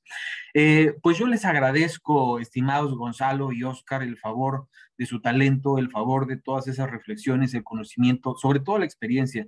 Yo agradezco ese punto fino, de verdad, Gonzalo. Yo creo que eh, en esa parte de la experiencia con personas físicas, el hablarlo, incluso te agradezco muchísimo ese ánimo tuyo de hablar con lo que nosotros desde las instituciones le llamamos lenguaje ciudadano. ¿Sabes de qué manera facilita eso la comprensión? Yo te lo agradezco muchísimo porque para nosotros de verdad representa que el contribuyente, sea especialista o no en la materia fiscal, pueda acercarse justamente a estas pláticas y se lleve el conocimiento, el entendimiento. Ya hasta decías, Oscar, hasta yo, hasta yo ya ahora comprendo el régimen simplificado para personas físicas. Suena muy sencillo, suena muy atractivo, sin embargo, hay que poner mucho eh, eh, en, esas, en esas restricciones para las facturas. Yo creo que hay que poner muchísima atención en todas las obligaciones que dijiste, en todos los impedimentos para los contribuyentes que no pueden ser reciclo y sobre todo también en el cuidado que van a tener de verificar si estos contribuyentes pueden optar o no por ser reciclo. Yo le sumaría lo único también para todas esos contribuyentes de Ágapes, pues también vean para que ejerzan esta opción y no se queden en el, eh, en el régimen general de actividades empresariales. ¿Por qué? Porque los beneficios van a estar en este régimen simplificado de confianza y hay un beneficio grandísimo para las personas que obtengan exclusivamente, y esto quiere decir al 100%, actividades del sector primario, los ágapes, cuando sus ingresos no rebasen los 900 mil pesos anuales. En el caso de las personas morales, Oscar, de verdad, la claridad es sorprendente como bien dijiste, en esta ocasión tuvimos oportunidad de saludarnos más veces que en todo el tiempo que llevábamos de conocernos y te lo agradezco muchísimo. Te agradezco mucho la claridad en un tema que para personas morales, pues yo creo que siempre implica un poco más de tecnicismo, pero creo que lo hiciste en un lenguaje también muy sencillo para que todos quienes nos acompañan pues puedan comprender los alcances y también sobre todo puntualizaste muy bien la obligatoriedad. ¿Y qué pasa si aún y cuando sea obligatorio yo no me encuentro en el supuesto, pero la autoridad me modifica? Yo invito a que todos los contribuyentes tengamos muchísimo ojo en eso. Prodecon ha estado recomendando tres, eh, tres circunstancias a todos los contribuyentes que consulten la primera de ellas su constancia de situación fiscal, porque esto nos va a revelar en qué régimen estamos, cuáles son las obligaciones, la temporalidad con la que hay que cumplirla. La segunda de ellas, verificar nuestra opinión de cumplimiento, porque esto también nos va a poder avistar si tenemos que solucionar algo para evitar contingencias. Pero el conocer estos dos elementos, es decir, que tengamos conocimiento de cuáles son nuestras obligaciones, cuál es nuestro régimen, nos va a permitir evitar la contingencia de la que hablaba Oscar, que la autoridad me migre sin razón, que posiblemente yo sepa que no me ubico en los supuestos para estar en este régimen obligatorio y que tenga oportunidad de avisarle, de pedirle a la autoridad que me regrese al régimen que me corresponde. O bien presentar el aviso, ¿no? Eh, Debe quedar muy, muy claro también que otra de las situaciones que debe el contribuyente en ambos casos tener actualizado ya con la introducción de estos dos regímenes es la cuestión del buzón tributario. Es una obligación que no puede faltarnos. Y en esto yo quisiera atreverme a hacer un consejo adicional. En muchas ocasiones yo he visto que la mayoría de los contribuyentes depositamos en nuestros asesores, en nuestros contadores, en nuestros abogados, pues ese correo de contacto. Yo les invito de verdad que todos pongamos nuestro correo personal porque en caso de tener algún requerimiento, un acto administrativo, una multa, una revisión, el sujeto verdaderamente obligado va a ser siempre el contribuyente. Esto no quiere decir que no podamos poner el del asesor, de hecho por eso la ley o, el SAT nos permite hasta cinco correos electrónicos. Quiere decir que obligadamente tenemos que estar ahí. Lo decía Gonzalo, cada vez más el contribuyente, el empresario, tiene que estar involucrado en la administración de la situación fiscal. No solamente depositarla y abandonarla en su asesor, ¿Por qué? Porque sabemos que la va a llevar, por eso hemos confiado en él. Sin embargo, tenemos que involucrarnos cada vez más, revisar, supervisar que efectivamente se está cumpliendo de manera adecuada, que no tenemos incumplimientos, que no tenemos ningún eh, requerimiento pendiente por parte de la autoridad. Y aquí se va a cumplir eso que yo decía, un contribuyente cumplido es un contribuyente que no tiene contingencias pero para poder cumplir necesitamos informarnos. Y para eso, estimados amigos, yo agradezco el favor de su tiempo, el favor de su atención. Han sido ustedes muy generosos porque ya nos pasamos más de 20 minutos respecto a este. Sin embargo, por, la, por, el, por el compromiso que tenemos, vamos a responder algunas preguntas muy sencillas estas. Vamos a darle espacio a cuatro de las cuales ya he seleccionado. Y todas las demás preguntas que nos hicieron, tengo el compromiso de que al correo con el cual se inscribieron vamos a responder todas y cada una de ellas. Tengo el compromiso, lo hago con ustedes. Preguntaban mucho si el material se va a poner a disposición. Efectivamente, si ustedes nos envían un correo a delegación veracruz de gobierno.mx, les vamos a enviar el material que nos hicieron favor de facilitarnos tanto Gonzalo tanto Gonzalo como Oscar, en el cual ya va a estar integrado todas las diapositivas que ustedes tuvieron aquí la, la, oportunidad de conocer, es material que ellos producen, y con la finalidad de que ustedes tengan la oportunidad también de consultarlo si es que a ellos les resulta de utilidad. Estimado Gonzalo, te pediría ya, eh, perdóname la prontitud, que me ayudes a responder un par de preguntas que se me hacen muy interesantes. Pregunta Bertilda Hernández, oye, si soy persona física que además recibo comisiones del extranjero y estoy como actividad empresarial, ¿puedo hacer el cambio a este régimen simplificado de confianza para personas físicas? ¿Me corresponde a mí que tengo este tipo de ingresos? ¿Qué podríamos decirle, querido Gonzalo? Sí, sí, amigo, de, mientras la ley no lo... Muchas gracias en primer lugar por, por este, la invitación, nuevamente lo reitero. Antes de, continuar, amigo, pues quisiera yo agradecer a, María Josefina, Gerardo, Armando Carballo y Enrique Reyes, que nos mandaron saludos personalizados ahí. Un saludo para todos. Y, por último, pues respondiendo en este caso a, quien pregunta, los ingresos percibidos del extranjero no son una causa de de exclusión para pertenecer al reciclo. Entonces, cualquier ingreso, dependiendo de la actividad a la que corresponda, se podría acumular en el, en el reciclo, pagar los impuestos respectivos y, y continuar adelante con este régimen. Te agradezco mucho, Gonzalo. Y otra también de personas físicas que también hicieron como tres personas. Eh, son dos que las voy a juntar, así que te voy a dar dos por uno, Gonzalo. La primera de ellas es, oye, si soy persona física que estoy empezando a partir del primero de septiembre de 2021, ¿puedo ser todavía régimen de incorporación fiscal? Y de poder ser así, tengo que presentar el aviso. ¿Cuál va a ser la vía presentar, para presentar ese aviso para permanecer en este régimen de incorporación fiscal?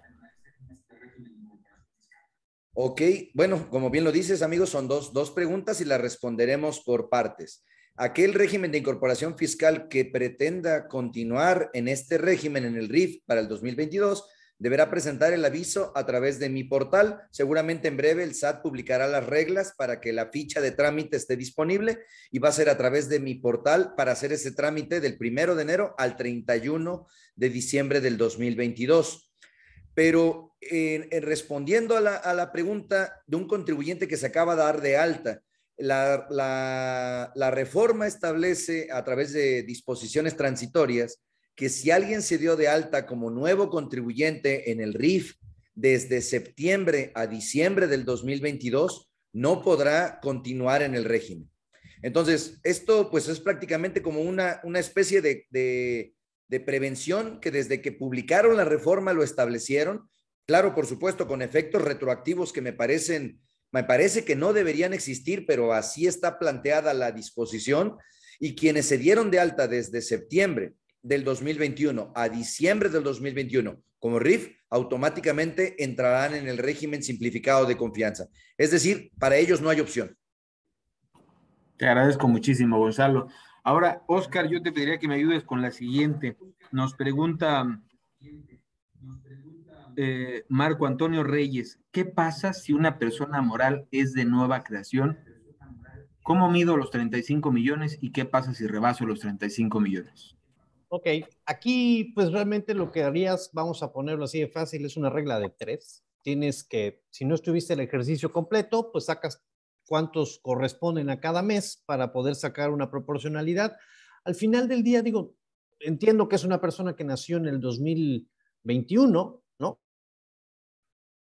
O incluso 2022. Una persona moral que comienza operaciones en el 2021, pues es, es a partir de cuándo, pues tendría que hacer su cálculo, porque la ley en sentido estricto únicamente nos remite al, al, ejercicio anterior. Realmente la ley literalmente dice cuyos ingresos totales en el ejercicio inmediato anterior no excedan de la cantidad de 35 millones.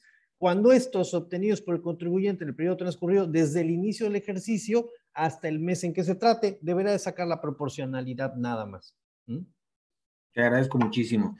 Y hay otra pregunta que nos hace Roger Ernesto, que nos dice, oye, ¿los 35 millones son los facturados? Es decir, ¿incluyo IVA para efecto de determinar si rebaso? No, no, no, sin IVA, son, son los ingresos nada más, eh, para efectos del impuesto sobre la renta, sin IVA. Perfecto, pues muchísimas gracias, mis estimados Gonzalo y Oscar a todos ustedes, amigos que nos han sintonizado el día de hoy. Gracias por el favor de su atención, gracias por el favor de su tiempo. El tiempo, hay quienes dicen el tiempo es oro, yo digo que el tiempo es vida y les agradezco el cachito de vida que nos han regalado a Gonzalo, a Oscar y a su servidor. Gracias a través de, o más bien gracias a nombre de la Procuraduría de la Defensa del Contribuyente y no nos vamos sin antes agradecerles y reconocerles ese profesionalismo, esos comentarios de expertos y además esa experiencia que nos hicieron manifiesta aquí nuestros amigos. Entonces, si me ayudan desde mi equipo a que me ayuden a proyectar los reconocimientos.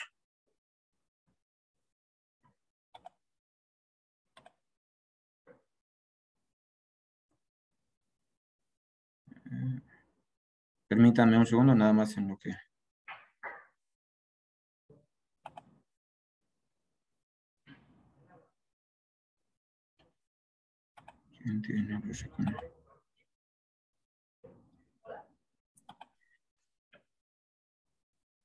A ver, voy a tratar de, de compartirlos yo para que podamos... Pero nuevamente reitero las felicitaciones. Y mira, todos, todos, me estoy tardando yo con los agradecimientos y los reconocimientos, pero todos ahí en el chat están expresando las felicitaciones a ustedes, de verdad que nos han agasajado con esa, con esa exposición tan clara. Y estoy aquí, ya los tengo aquí.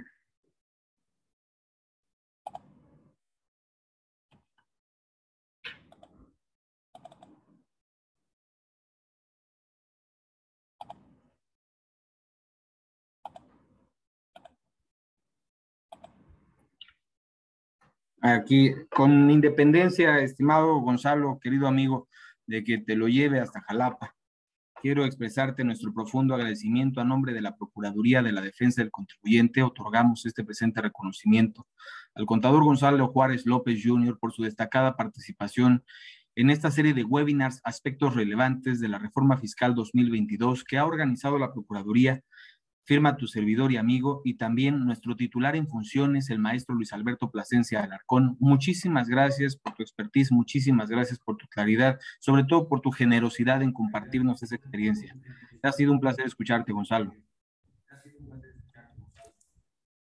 Gracias, amigo. Gracias a todos. Y comparto el otro. No venía preparado, ¿eh? Miren. Y ahora también, estimado querido amigo Oscar Castellanos Varela, yo quiero también reconocerte tu claridad. A nombre de la Procuraduría de la Defensa del Contribuyente, te otorgamos este presente reconocimiento. A ti, contador público certificado, Oscar de Jesús Castellanos Varela, por tu destacada participación en esta serie de webinars de aspectos relevantes de la reforma fiscal 2022. Suscribimos tu servidor y amigo y también el maestro Luis Alberto Plasencia Alarcón titular en funciones de la Procuraduría, y agradecemos tu generosidad por compartirnos con esa absoluta claridad y entereza estos comentarios respecto de las personas morales en el régimen simplificado de confianza. Muchísimas gracias. Mario, muchas gracias a ti, a Prodecom, por permitirnos estos espacios de participación, de charla. Creo que son muy productivos para todos y agradecer a toda la gente que se sumó a este evento. Muchas gracias por su tiempo. Pues sin más ni más, yo les agradezco a mis invitados, les agradezco nuevamente a todos ustedes, amigos. Seguimos a sus órdenes, a nosotros en la Procuraduría de la Defensa del Contribuyente.